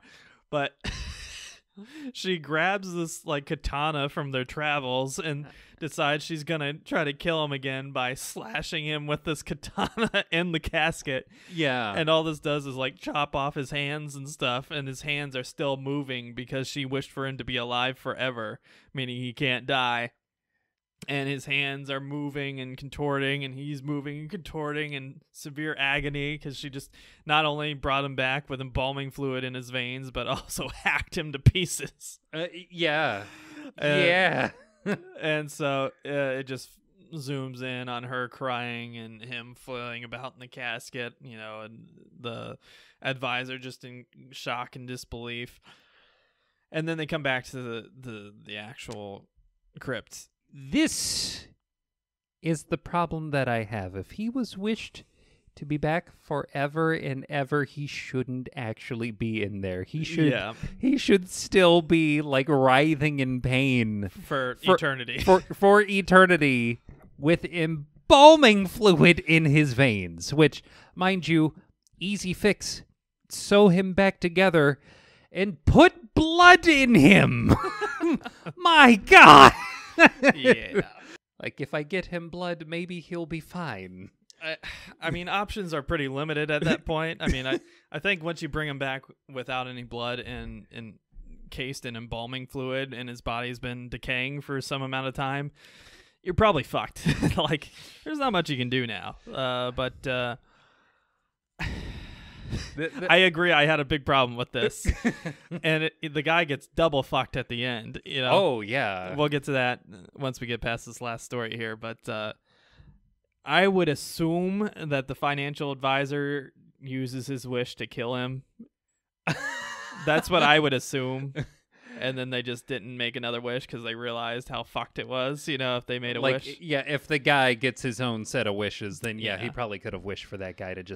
made a like wish yeah, if the guy gets his own set of wishes, then yeah, he Yeah. probably could have wished for that guy to just rest in peace. because basically it's it, whoever holds it and makes the wishes has the three wishes or whatever so Right.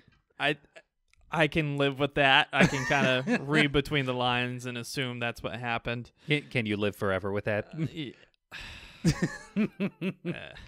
uh, like I will never have that image not in my head now yeah. forever. And so it's a mixed bag to be sure. Yeah. Uh, like that one uh definitely a little better told than like the very first one but by far the least deserving of their ultimate fate in this entire thing. Yeah. And so we jump into the very last story, which features Major William Rogers, who This eh, one's kind of my favorite out of all of them. this one this one kind of reminded me of Saw. I, I can't remember what the movie was, but there's this this movie where a blind guy, there's some kids that basically break into his house to rob him.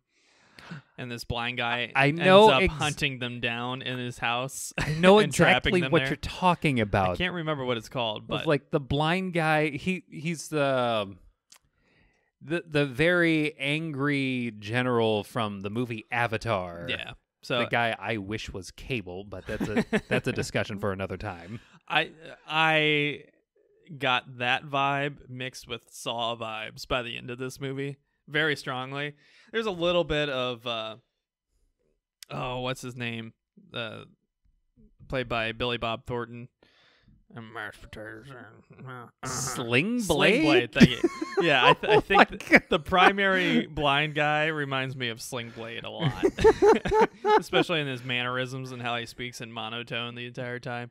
Mm, she ought not to think such things. You're Mm. just a boy. Mm. Mhm. but uh, basically, uh, the story revolves around this uh, major who's retired from the military, who comes into becoming the director for this home of the blind. Uh, after the previous one leaves, he has his you know beloved German Shepherd that comes along with him. And he admits, you know, he has no knowledge of what it's like to be blind, and he has no knowledge of how to run this place. But he assumes because he's a military man who's been a military man for 20 years, and he he can get this place into ship shape and get the you know the budget just right and blah blah blah.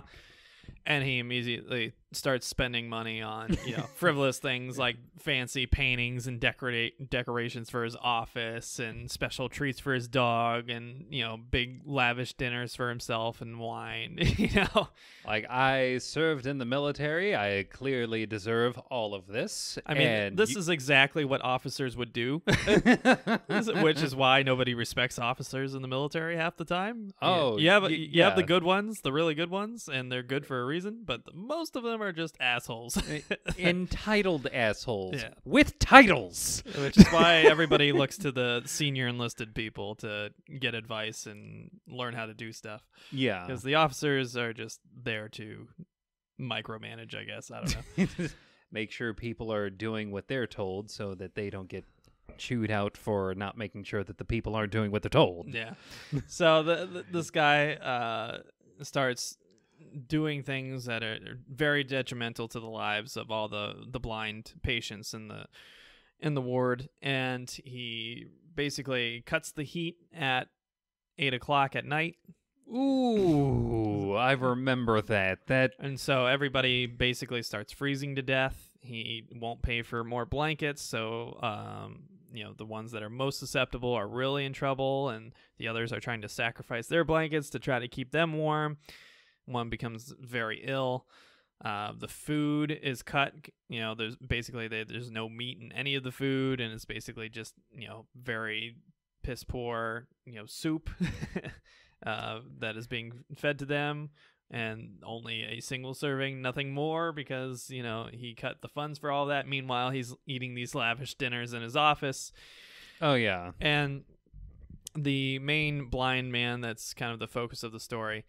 He confronts him several times in his office about the conditions, and the man just kind of blows him off. This says- guy I kept calling Doc Brown because like the the way the the look this guy's face and his hair definitely gave me uh Doc Brown vibes. Yeah, and so uh, basically things build to a, a climax when one of the more fragile inmates dies from becoming ill from freezing and being underfed uh, in these terrible conditions.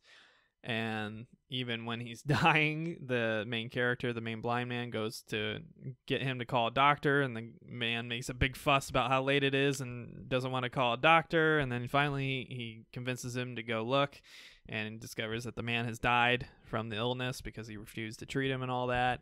And he just kind of blows it off and thinks nothing of it and goes back to business as usual. Um, you, you think he has a moment of reflection there, but it doesn't seem like it in the end Nope. um, which means he's probably among the more deserving of the the, the group here.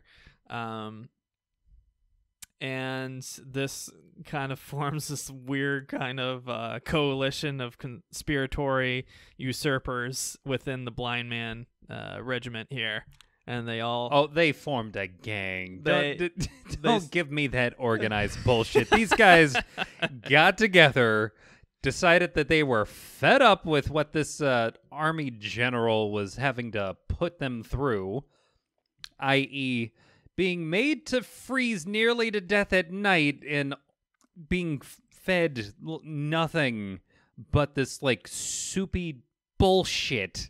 yeah Th- They were fed up and they formed a gang and they they came up with a revenge so obvious the second that they started like building things and visually I was thrown for a loop, especially when it came to all of these blind people just uh, picking up tools and Yeah. like I, I There's I some, saw- there's seemingly some leaps in logic with uh, how things end up, but yeah, but th- these blind people were fucking fierce. Oh my god, I mean, those canes. You gotta wonder how they became blind. Maybe it was in the war or something because they were fucking ready to go. Yeah, they were. Uh, but basically, they hatched this whole scheme. The one thing that kind of keeps them at bay is the dog because they're scared of the dog. yeah. And so they hatch a scheme where they leave a trail of bacon that they saved from the morning um, and lead the dog into a trap. And basically, there's these two rooms in the basement. They're little cells uh, with barred windows. And they lure the dog in there and trap the dog in one of the rooms. And then they go and confront the the major and, and with their gang basically abduct him and drag him into the other room and lock him in there as well.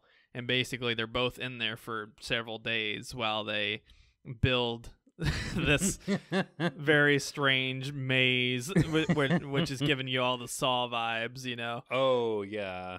they build this big maze using wood from the basement and various parts of the hospital that they just tore out and stuff like that. that traps the general uh, in this kind of U shape that connects to the door where his dog is. And they're in there for days and he's yelling at them to feed his dog and blah blah blah and how he's asking for food and begging for you know forgiveness and blah blah blah. And finally uh they get to a point where they have my favorite line in this entire film where he goes please you have to feed the dog. He's ravenous and they go, "Oh, he'll be fed. Don't you worry, Major. Your dog will be fed." and so, It, it was then that I knew this one was my favorite. yeah. So, uh, they eventually, after several days, they stop, you know, pounding. They actually had to abduct another one of the doctors just to keep him from saving the major. yeah, So that that was when they got their most gang-like because they Yeah. snuck up, captured the doctor, then proceeded to like lead the doctor back into a room where they completely closed him off. Yeah, just to get him out of the equation. And uh, they open the door for the maze, and so he goes through it. It's dark; he can't really see. He doesn't really hear anything. Again, I think the the analogy here is kind of harkening back to an earlier discussion they have. Again, please watch this if you haven't watched this, because this is probably the best story. Oh yeah. Um, I have a talk earlier in the the story where the main blind man tells him, "Hey, all of your senses are intensified when you become blind. Your hearing, you can hear insects crawling across the floor because things aren't clean. You can feel the cold like razors on your skin, you know, because it's so intense. You know, your food when it's bad, it tastes so much more worse because it's intensified, uh, and all this other stuff." Well, now he's depriving the general of his various senses in different ways. Yeah. And so he goes through this little maze and they kind of play mind games with him by giving him an out an out and then they shut the door and lock it before he mm-hmm. can get to it and that sort of thing. And just mess with him and then eventually gets to this corridor that's filled with razor blades.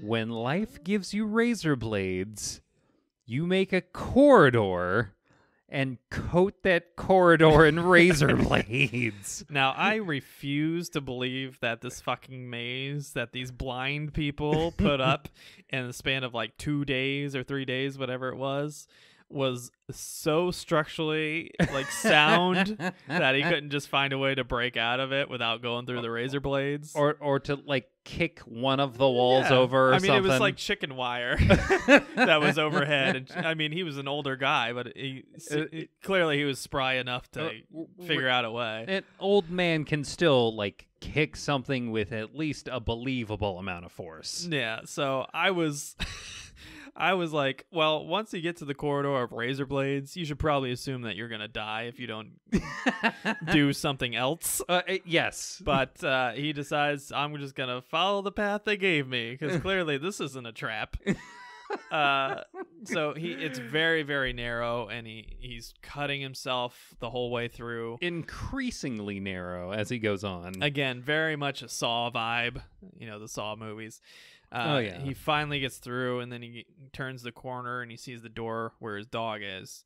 And then he kind of realizes what's going to happen. They throw the door open, and his dog is, which is ravenous and crazy now at this point with hunger, charges out and uh, chases him down. And he runs away, and obviously he's got that corridor of razor blades, and either dog's gonna eat you or you're gonna crash through this corridor of razor blades as fast as you can. He runs into it, screams, and then the dog hits him anyway. It was at the moment in which you saw a string pulling on the latch to open the door to the dog that again I said, "Oh no." he did, folks. I was sitting here listening to him. Yep, that was man, that was a moment caught between a dog and a hall full of razor, razor blades. Literally pr- most likely turning yourself into uh much easier to eat meat for that dog. so yeah, it was uh probably probably the best one of the group as far as what the story was. oh yeah. Um, the Like most this one was like the main character was a villain and he did everything he could to fucking deserve it. yeah, like- they they all have leaps of logic in some way, shape, or form. Yeah. Um, but this one was definitely the one that kind of engrossed you the most. Uh, it kind of, I feel like a lot of movies are influenced by this. You know, I, I was getting, you know, One Flew Over the Cuckoo's Nest Oh, vibes yeah. when they're in the cafeteria. You know, I was getting a lot of Saw vibes from the hallway. You know, the the maze scene. I was getting the, the just all sorts of various like flashbacks to all of these different films. You know, from this one story in this movie. this one story that manages to feature so many different things that other movies like focused on like one part of it, but this story had all of those things. Yeah, and and the villain in this case probably deserved it. I don't I don't think if you had to rank them, he would deserve it more than the woman who murdered her loving husband while her daughter was upstairs. He's a Um, very close number 2. I the guy who, you know, terrorized this poor old man until he committed suicide. It's like he wasn't the one that killed him necessarily. And that's the reason why he's a he he's number 3. Yeah, but narrowly, you know. is it Whereas the major is directly responsible for the death of the, the old man because he refused to give them blankets and turn the heat on and was giving them yeah. too little food while like- he was living it up. He was he wasn't trying to kill them, but he was actively making them suffer for his own gain. Yeah. And so we get to the big finale uh, with the Crypt Keeper. Basically, they're all realizing more or less that this is what they did that got them there and that this isn't just some tour that they happen to wander into.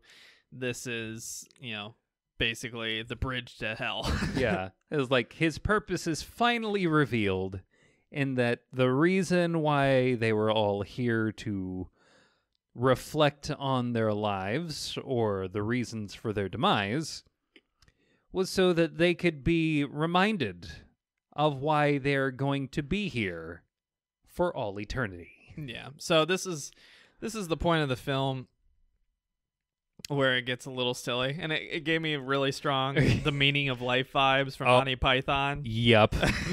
yep. They're kind of like on the cosmos, Uh, and like a few of them just they open the doorway, and a few of them just run right in and jump into the abyss, you know, and go straight to hell. You know?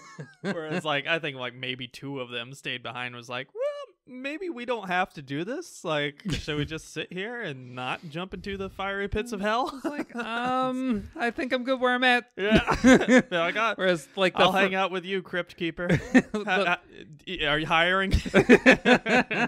Uh, yeah, the first one that uh, manages to like fall into a very uh, I don't want to say poorly uh poorly crafted volcano for this shot, but man, the, the, the life of Brian is I think being a little generous. oh, meaning of life. yeah, meaning of life. Yeah. But uh, yeah, it was it was it was very over the top and corny and campy, but uh, it's the 70s, early 70s. yeah, what do you he- expect? Yeah, this was like before the time of the Wilhelm scream, so you actually got to hear this guy's very own personal. Yeah. By the way, can we kill the Wilhelm screams? really don't want those anymore. Uh, worst. n- uh, no, that that's that's stock footage. Damn it. But uh, Everyone gets to use it. Ugh, the worst. But uh, yeah, if, this is the part where I was really feeling bad for the businessman because again, not only was it not his fault, the, you know, anything that happened, it was just a luck of the draw that the the the funds went bad and he went into debt. He wasn't the one who made the stupid wishes; it was his dumb wife. and he was already made to suffer by being brought back from the dead Yeah. while having embalming fluid in his Yeah. system. Y- it- it- he died from a heart attack. It's not like you know he, he was in the m- middle of murdering somebody, you know, like the first woman or anything. He didn't terrorize anybody. He was doing the honorable thing by selling everything he owned in order to pay off the debts and make sure people didn't get screwed. He was doing everything he should have done. and he he already had been made to in spite of all of that he had already been made to suffer from beyond the grave Yes, you would think that would count as time served or something. he got brought back to life with embalming fluid in him and then got hacked to pieces by his stupid wife while in the casket.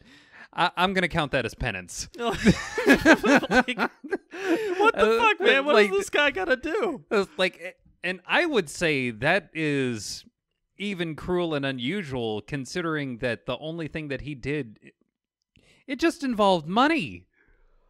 He didn't hurt, like go out and murder someone. He didn't torture someone to the point of death. He didn't put someone through harsh conditions to the point of death. Yeah. he just he just mismanaged money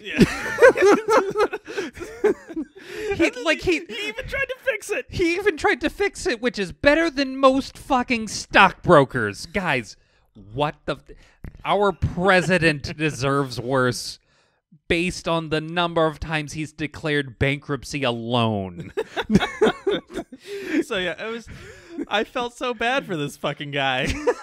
Like I felt bad for some. Like I don't think any of them deserve an eternity in hell or anything like that. You know, I, I mean, uh, uh, uh, sure, the lady, suffering. Uh, the the, the lady. eternity though, that's a long ass time. Uh, uh, okay. Based on what that kid probably had to go through as a result, I would have said, it, She's yeah. the one who let Santa in. Oh, okay. She is a child, She probably got murdered by Santa too. Which helps me stand by my statement. That lady deserves an eternity for having a child probably killed by an insane Santa Claus. Uh, The rest of them, uh, give give them like a hundred years. I don't. Know. I guess that answers the question from Nightmare Before Christmas. Santa Claus is scarier Ah! than anything in Halloween Town. Oh no! Get the Sandy Claus. So, Uh, what is this Sandy Claus? I have to see him. but uh, yeah, I yeah, you feel bad for the the two characters, especially you know the the one who you know made a mistake and tried to run away from his life because he fell in love with some young tart or whatever the case is. You know, Y- yeah. it happens. You know, like it's terrible. He probably shouldn't have done it. He knew he was wrong, which is why he goes back to the original family first. Right. You know, because he realizes his mistake. It was But- like he, he literally felt as though he all he cheated death, and the first thing that he does is go and realizes that, um, I want to be with my family. Yeah. I want to be with my family. I fucked up. I want to be with my family. Who the fuck is that in my house? so I don't. He definitely doesn't deserve something that severe. And then the fucking business guy did nothing wrong and got tortured in the act, all due to things that he was not in control of right. at all. And he still gets thrown into the pit to hell. And then we get the big ending from the the the knighted one himself. Yes. And now, who's next? Perhaps you. yeah, that organ is brutal. By the way, if if you haven't watched this movie already, and why haven't you? We've been telling you. There's a free links out there. Just Yeah. Google "Watch Tales from the Crypt" 1972, and you'll get several options to watch. The Daily Motion's probably the best quality. The YouTube one's the quickest because it doesn't take forever to load. But yeah. Uh, any we of you posted stuff on our social there- media. Watch it. yeah, any of you people out there who are at least trying to act as though quarantine is still being followed, um, you've got time. Go and watch this movie. Yeah, Come it's on. worth it. It's Yeah. worth it. Um, the just skip the the whole organ introduction. It's so long. It's they like play the whole fucking musical movement. it's like ten minutes of this guy just soloing the organ and shredding, man. Just Is it a solo if he's the only ever. one playing? and then the outro is the same thing. like it would be one thing if you just used it in the intro, but the outro too. it's so obnoxious. It's worse than the fucking barking dogs that happened for 10 minutes in Superman and the Mole Men. God. That that segment was brutal, but this was worse. Um, but yeah, uh, overall, what'd you think, Emery? If Uh, you had to put it on a grade scale, what would you give it? on a grade scale, I am going to give this. I'm going to say a C plus. C plus. Uh, I think that's fair. Yeah. I'm gonna go a little higher. I actually thought, especially for the time, it was very creative filmmaking. Yeah. I actually like the kind of format, you know, the very Twilight Zone format with the the groups of people. Of course, they did it multiple times, so it Eh, wasn't exactly original at that point. right. Um, I actually think everybody acted their part pretty well. I don't think anybody drastically overacted like tended to be the case in you know, 60s and 70s media. Uh, I actually think it was all pretty well done, with the exception of the musical score uh, and and spots and how abrasive some of the screams are um, to a you know modern listener's ears. You know, some of the effects could have been better, but it was a really low budget film, relatively speaking. You know, it's eh, you can't hold it that much against them. So I I want to give it a B. I actually I think it was Uh, pretty uh, a solid B. a solid B. I think you know, trying to grade it on a curve for what it was at the time and everything, and for like whether I'd go back to watch it again. Absolutely, I was actually enjoying listening to you watch it. you know, even though I wasn't watching it literally, I was yeah. enjoying reliving it while you were watching it. So Yeah.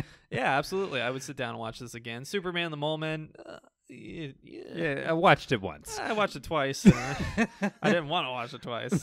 You know, Batman 1966. I know that's your vibe, but I don't want to watch it again. that movie's so fucking stupid. Uh, Uh, ho- hold on. Uh, these men are engaging in what could be the most important work. Let's make our way out the window discreetly. I, I, No, ju- again, just a minute. It's going to take a minute it was to open this thing. intentionally dumb and stupid and silly, so I, Yeah. I'm forgiving of it. I get it, but it's not what I needed. Okay.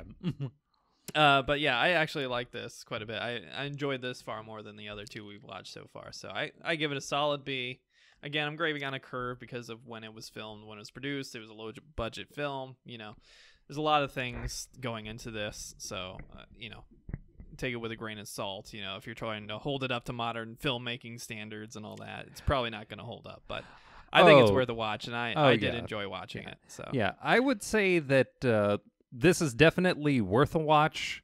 Uh, the places where I am taking points off are the while there are leaps in logic that were made, there are also, as we kind of talked about in depth, there are like at least a couple of people that don't deserve Yeah. their fate in this one.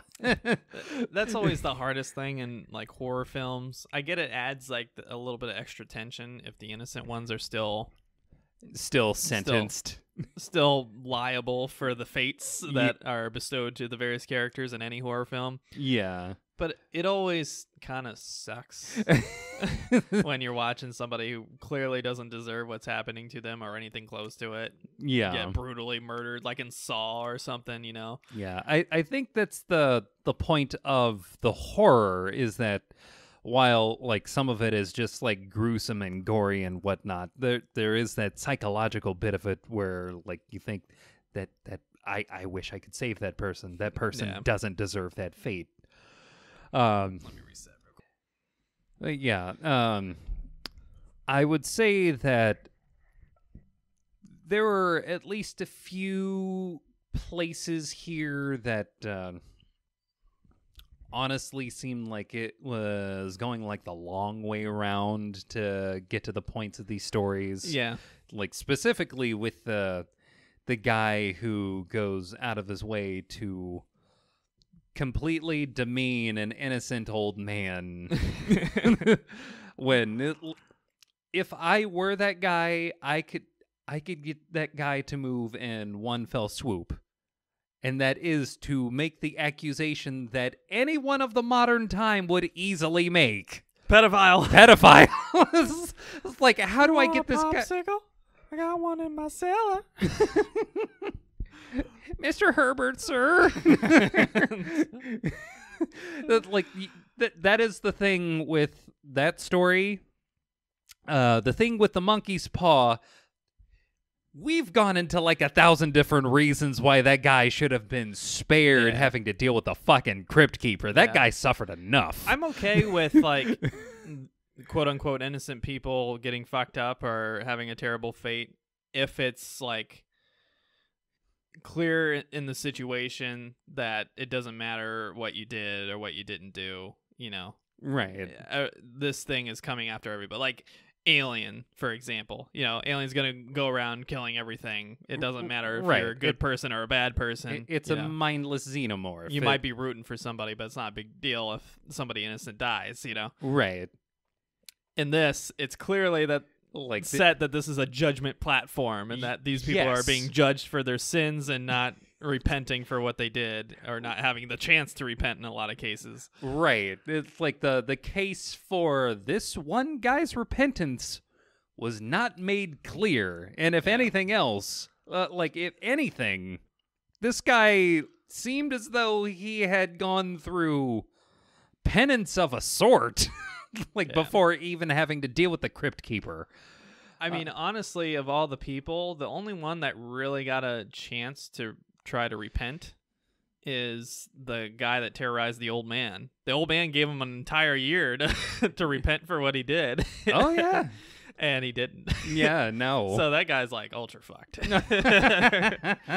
but the woman was murdered right away the night that she committed the murder. yeah. Uh let's see here. The the guy crashed his car before he even committed the sin completely when he was still having doubts and thinking about going back to his family, you know. Yeah. He still had a chance to prevent everything that was going to happen, you know. Or, or at the very least, at some point after he had safely gotten out of that car, Yeah. uh, say, you know what, I made a mistake. This is all wrong.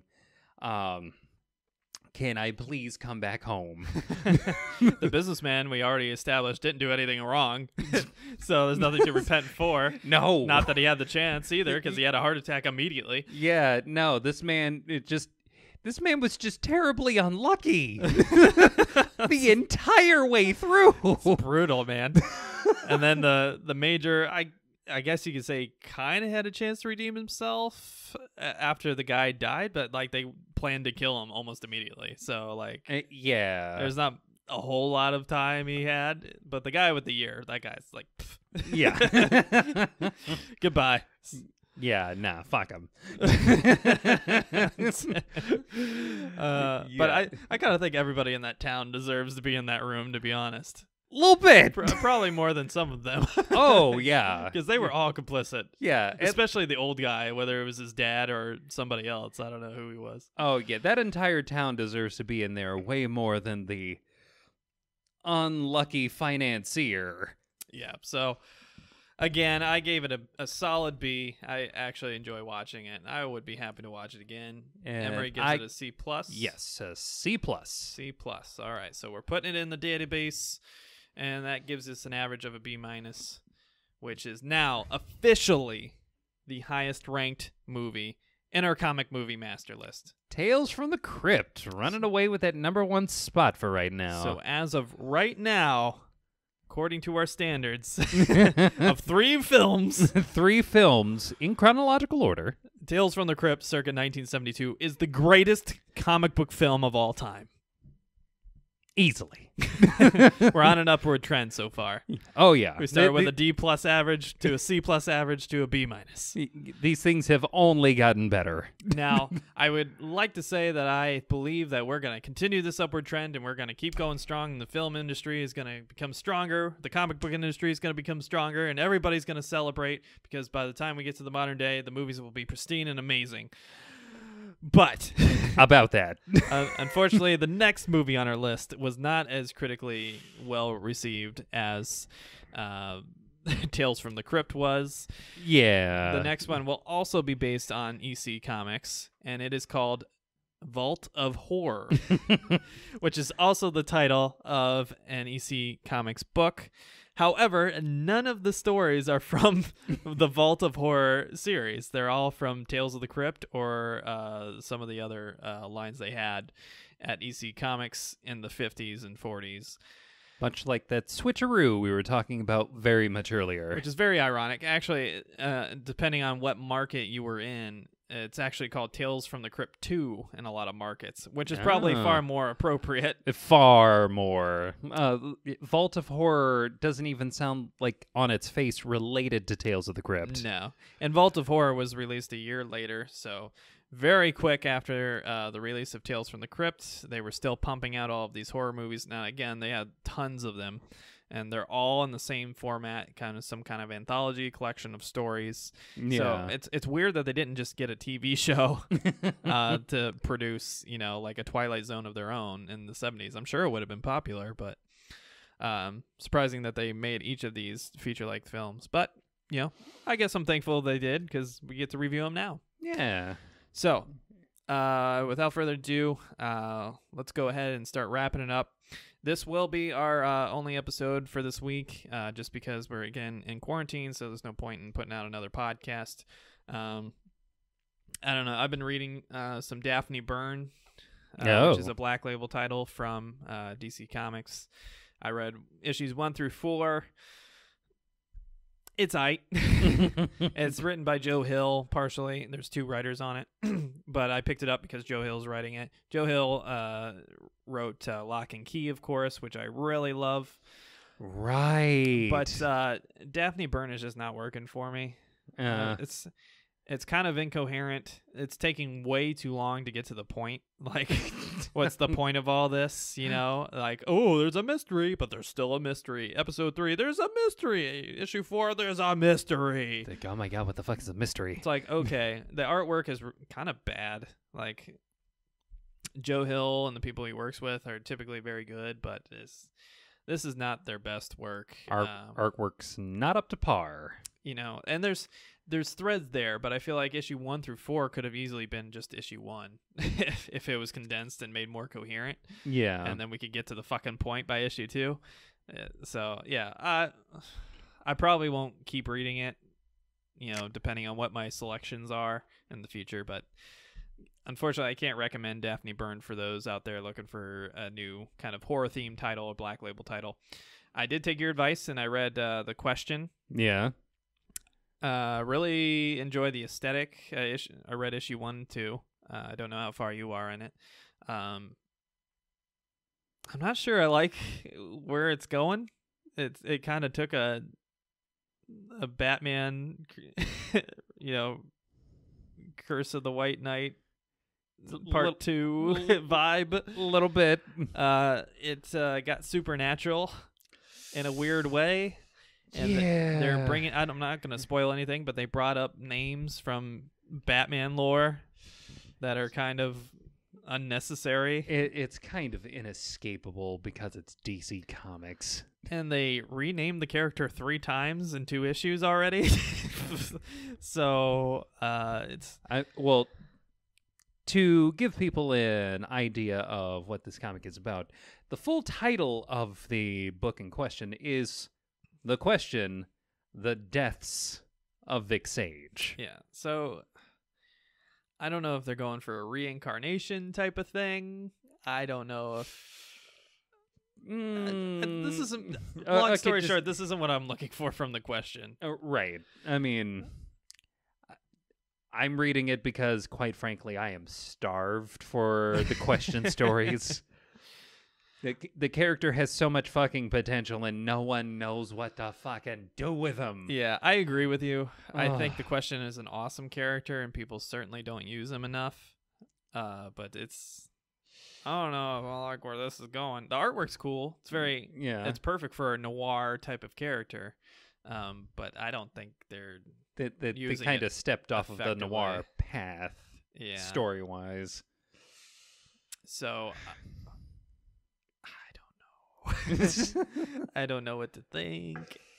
I don't know what. Um, Uh, I've read through issue two. I haven't read issue three yet. Yeah, I don't I don't know if issue three's out. I have to check I think, that. I think it was after the freeze for Diamond. But uh, yeah, so that's pretty much all the stuff I've jumped into. I've been getting myself set to play Final Fantasy VII Remake. Basically, I'm making a romantic event of it, basically, wining and dining myself. I had one game that I haven't finished ahead of it on my hard drive that I'm forcing myself to finish so I can delete it off my hard drive. It's Assassin's Creed Origins because I know if I drop it, I will never go back to this fucking game. and I will never get to continue with the Assassin's Creed games because I'll be I will have a mental barrier from wanting to pursue the future games because I haven't finished the a previous one. Th- this, ladies and gentlemen, is a classic case of the sunk cost fallacy. Yeah. Uh, whereas I have already come to the conclusion that I don't want to play the Assassin's Creed games anymore.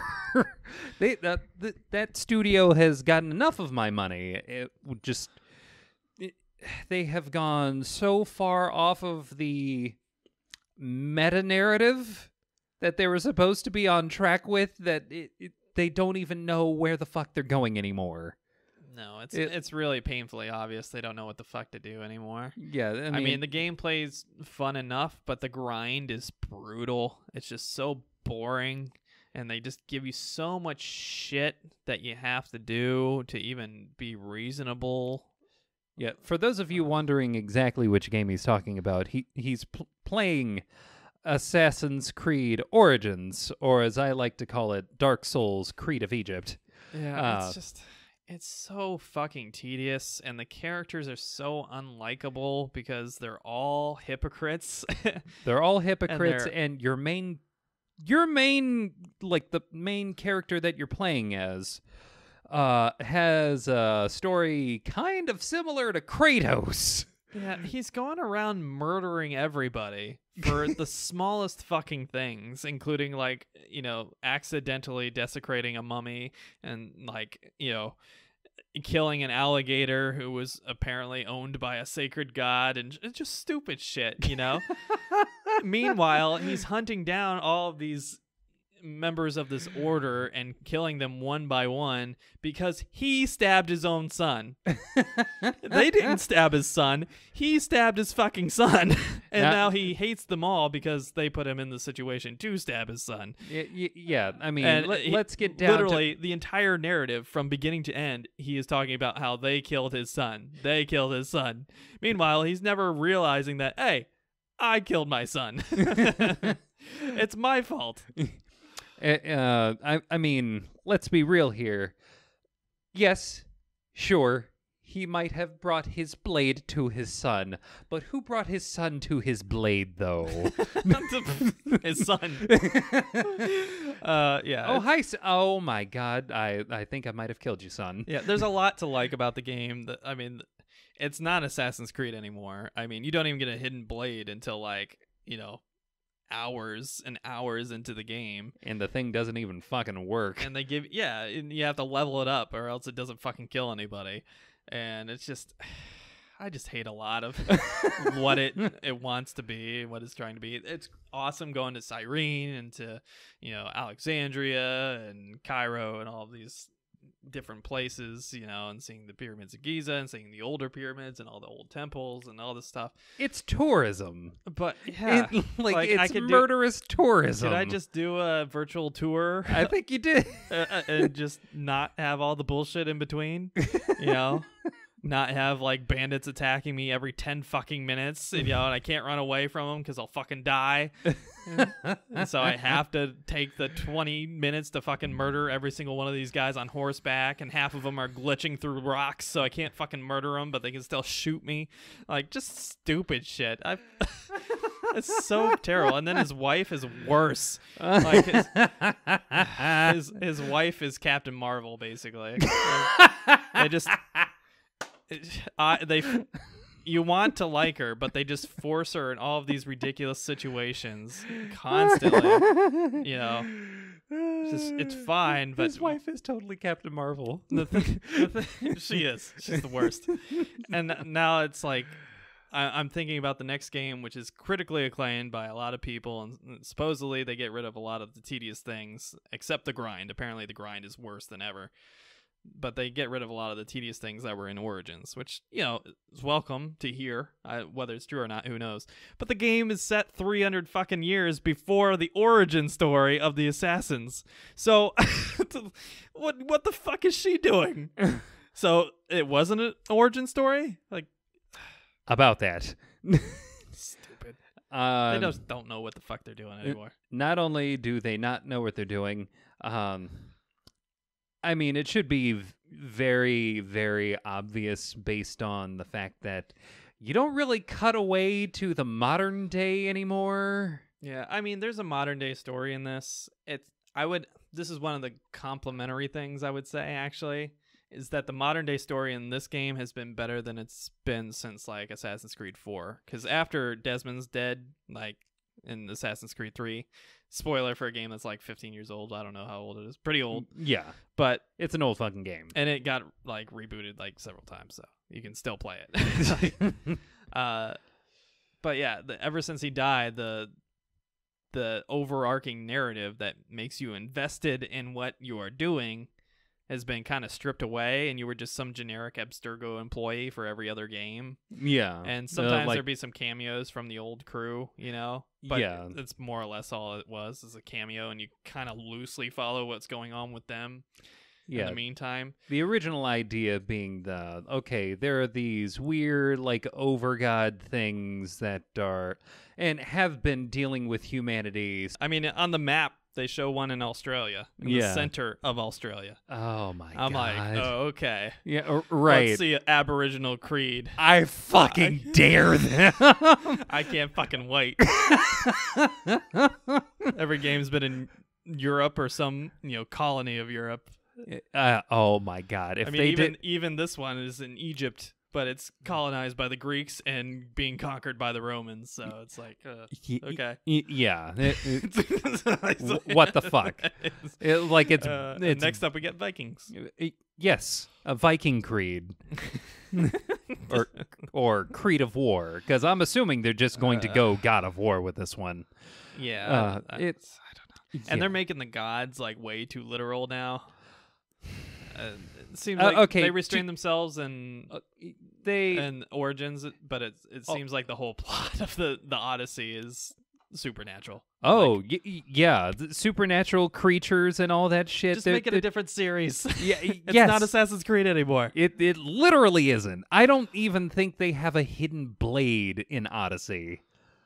It's they're not assassins. Yeah, because they don't exist yet. Yeah, right. It, it, the origins is 300 years later, it- it's based fucking on the previous game. it's fucking Spartan Creed, It's so dumb. and Yeah. which the writers of the game have gone out of their way to say playing as the woman is canon You know, uh, because that's that but fucking why give you a choice? Just right. why'd you even give us a choice? If It, it's like if you're going to make the woman canon, just make us play as the woman. that's fine. It's fine. Tomb Raider and fucking Resident Evil 3 are a thing. Guys, what the f- Oh Yeah, my god. fine. Uh, It- but I'm done stupid. griping. I'm done griping. Uh, are you done? But I'm Cuz for- I, I think I might I, this, I might have this a few game more. is so fucking long, and it's taking me forever to get through. I've dumped so many hours into so many tedious fucking bullshit things to get through this fucking game, so I can at least have the story. I'm sure I could watch a video or something, but I feel like I'd just be cheating myself if I did that and rob myself of the context. You know, so yeah. forcing myself to finish this game. But yeah, and I've turned your character into an Egyptian Power Ranger. There's there's Assassin's Creed games that I've just not enjoyed, like Syndicate, as much as I wanted to enjoy it. It, it kind of had the San Andreas, like you know, free up the gang territory type of things. You know, Oh, you Grand mean Theft Auto, San Andreas. A- Assassin by Gaslight. Yeah, and but it was so glitchy, and it just looked bad. Like there was just terrible textures and frame drops, and it, like the- clearly this is this was the pinnacle of the year to year plan not working out. yeah, that that one was very much rushed. Yeah. So it just it was bad.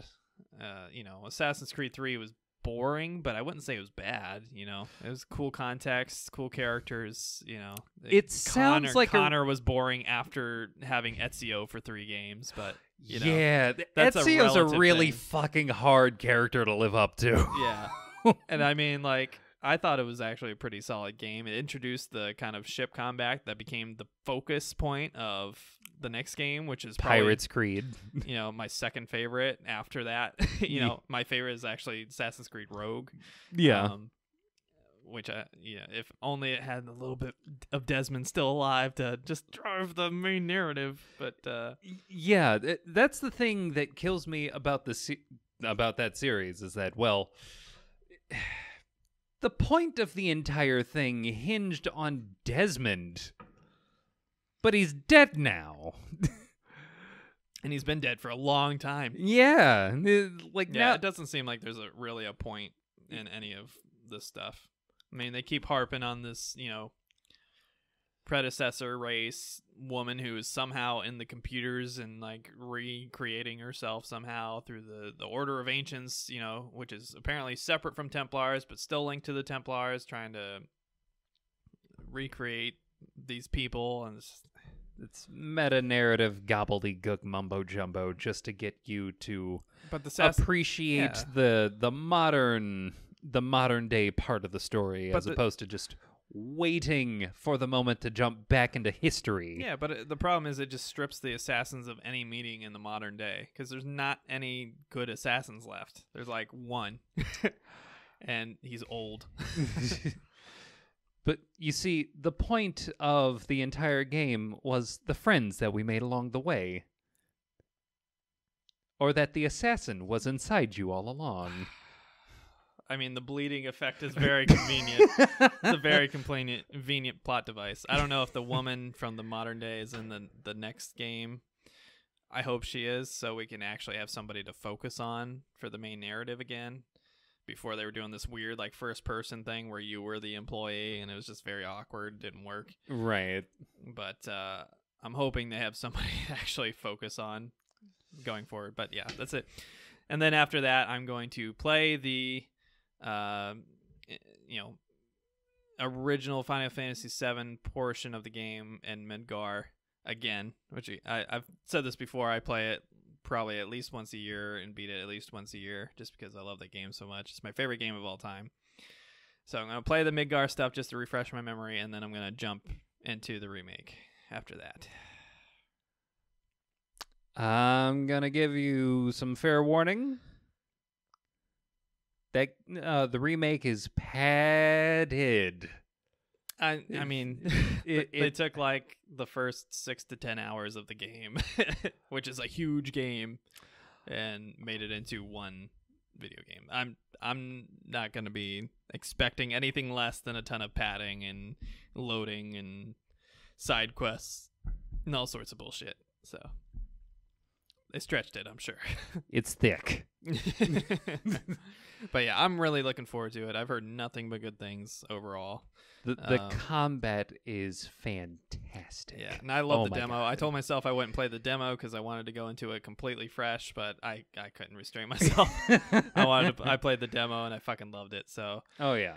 I am so looking forward to that. So, have you been into any nerd culture, reading any books or anything, just to update the fans before we send them off?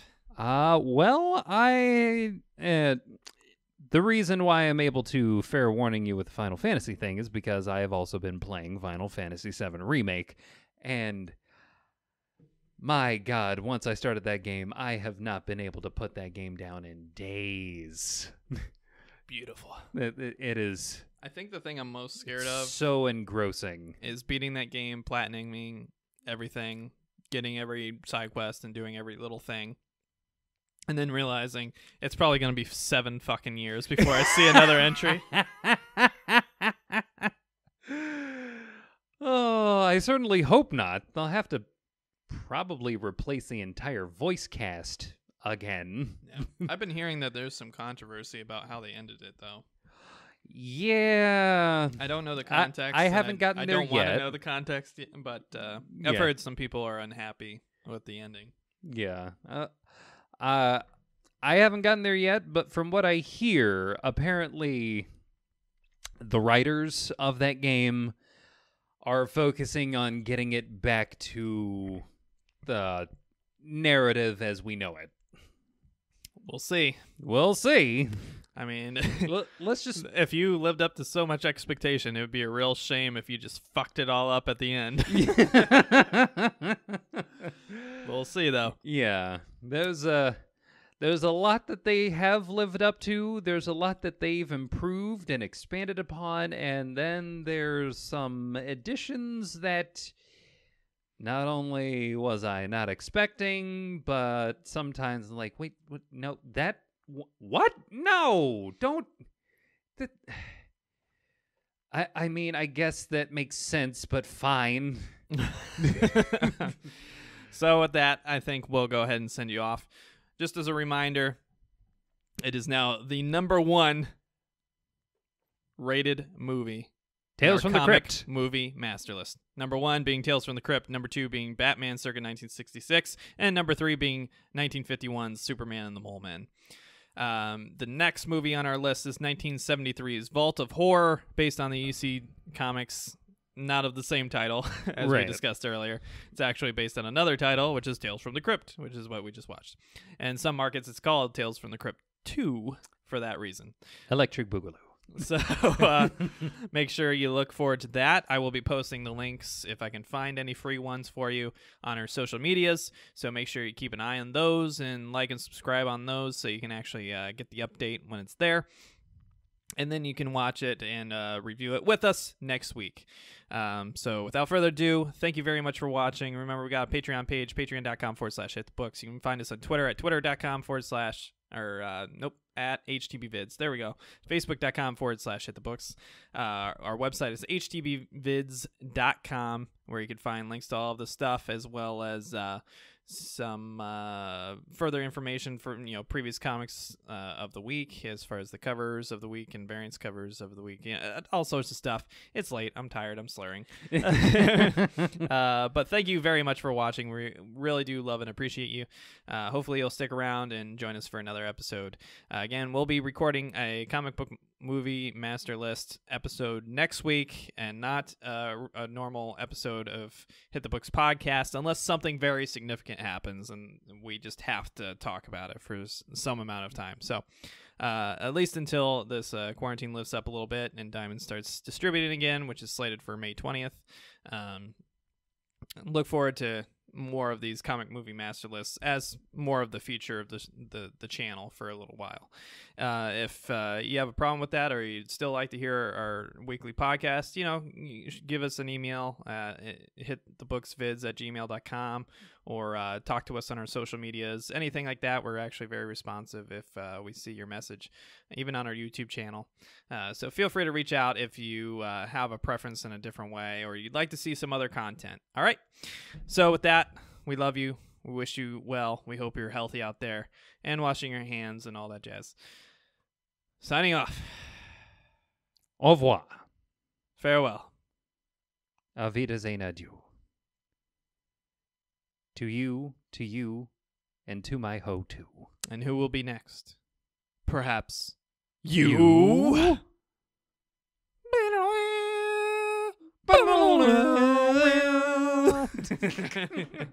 Bye, folks.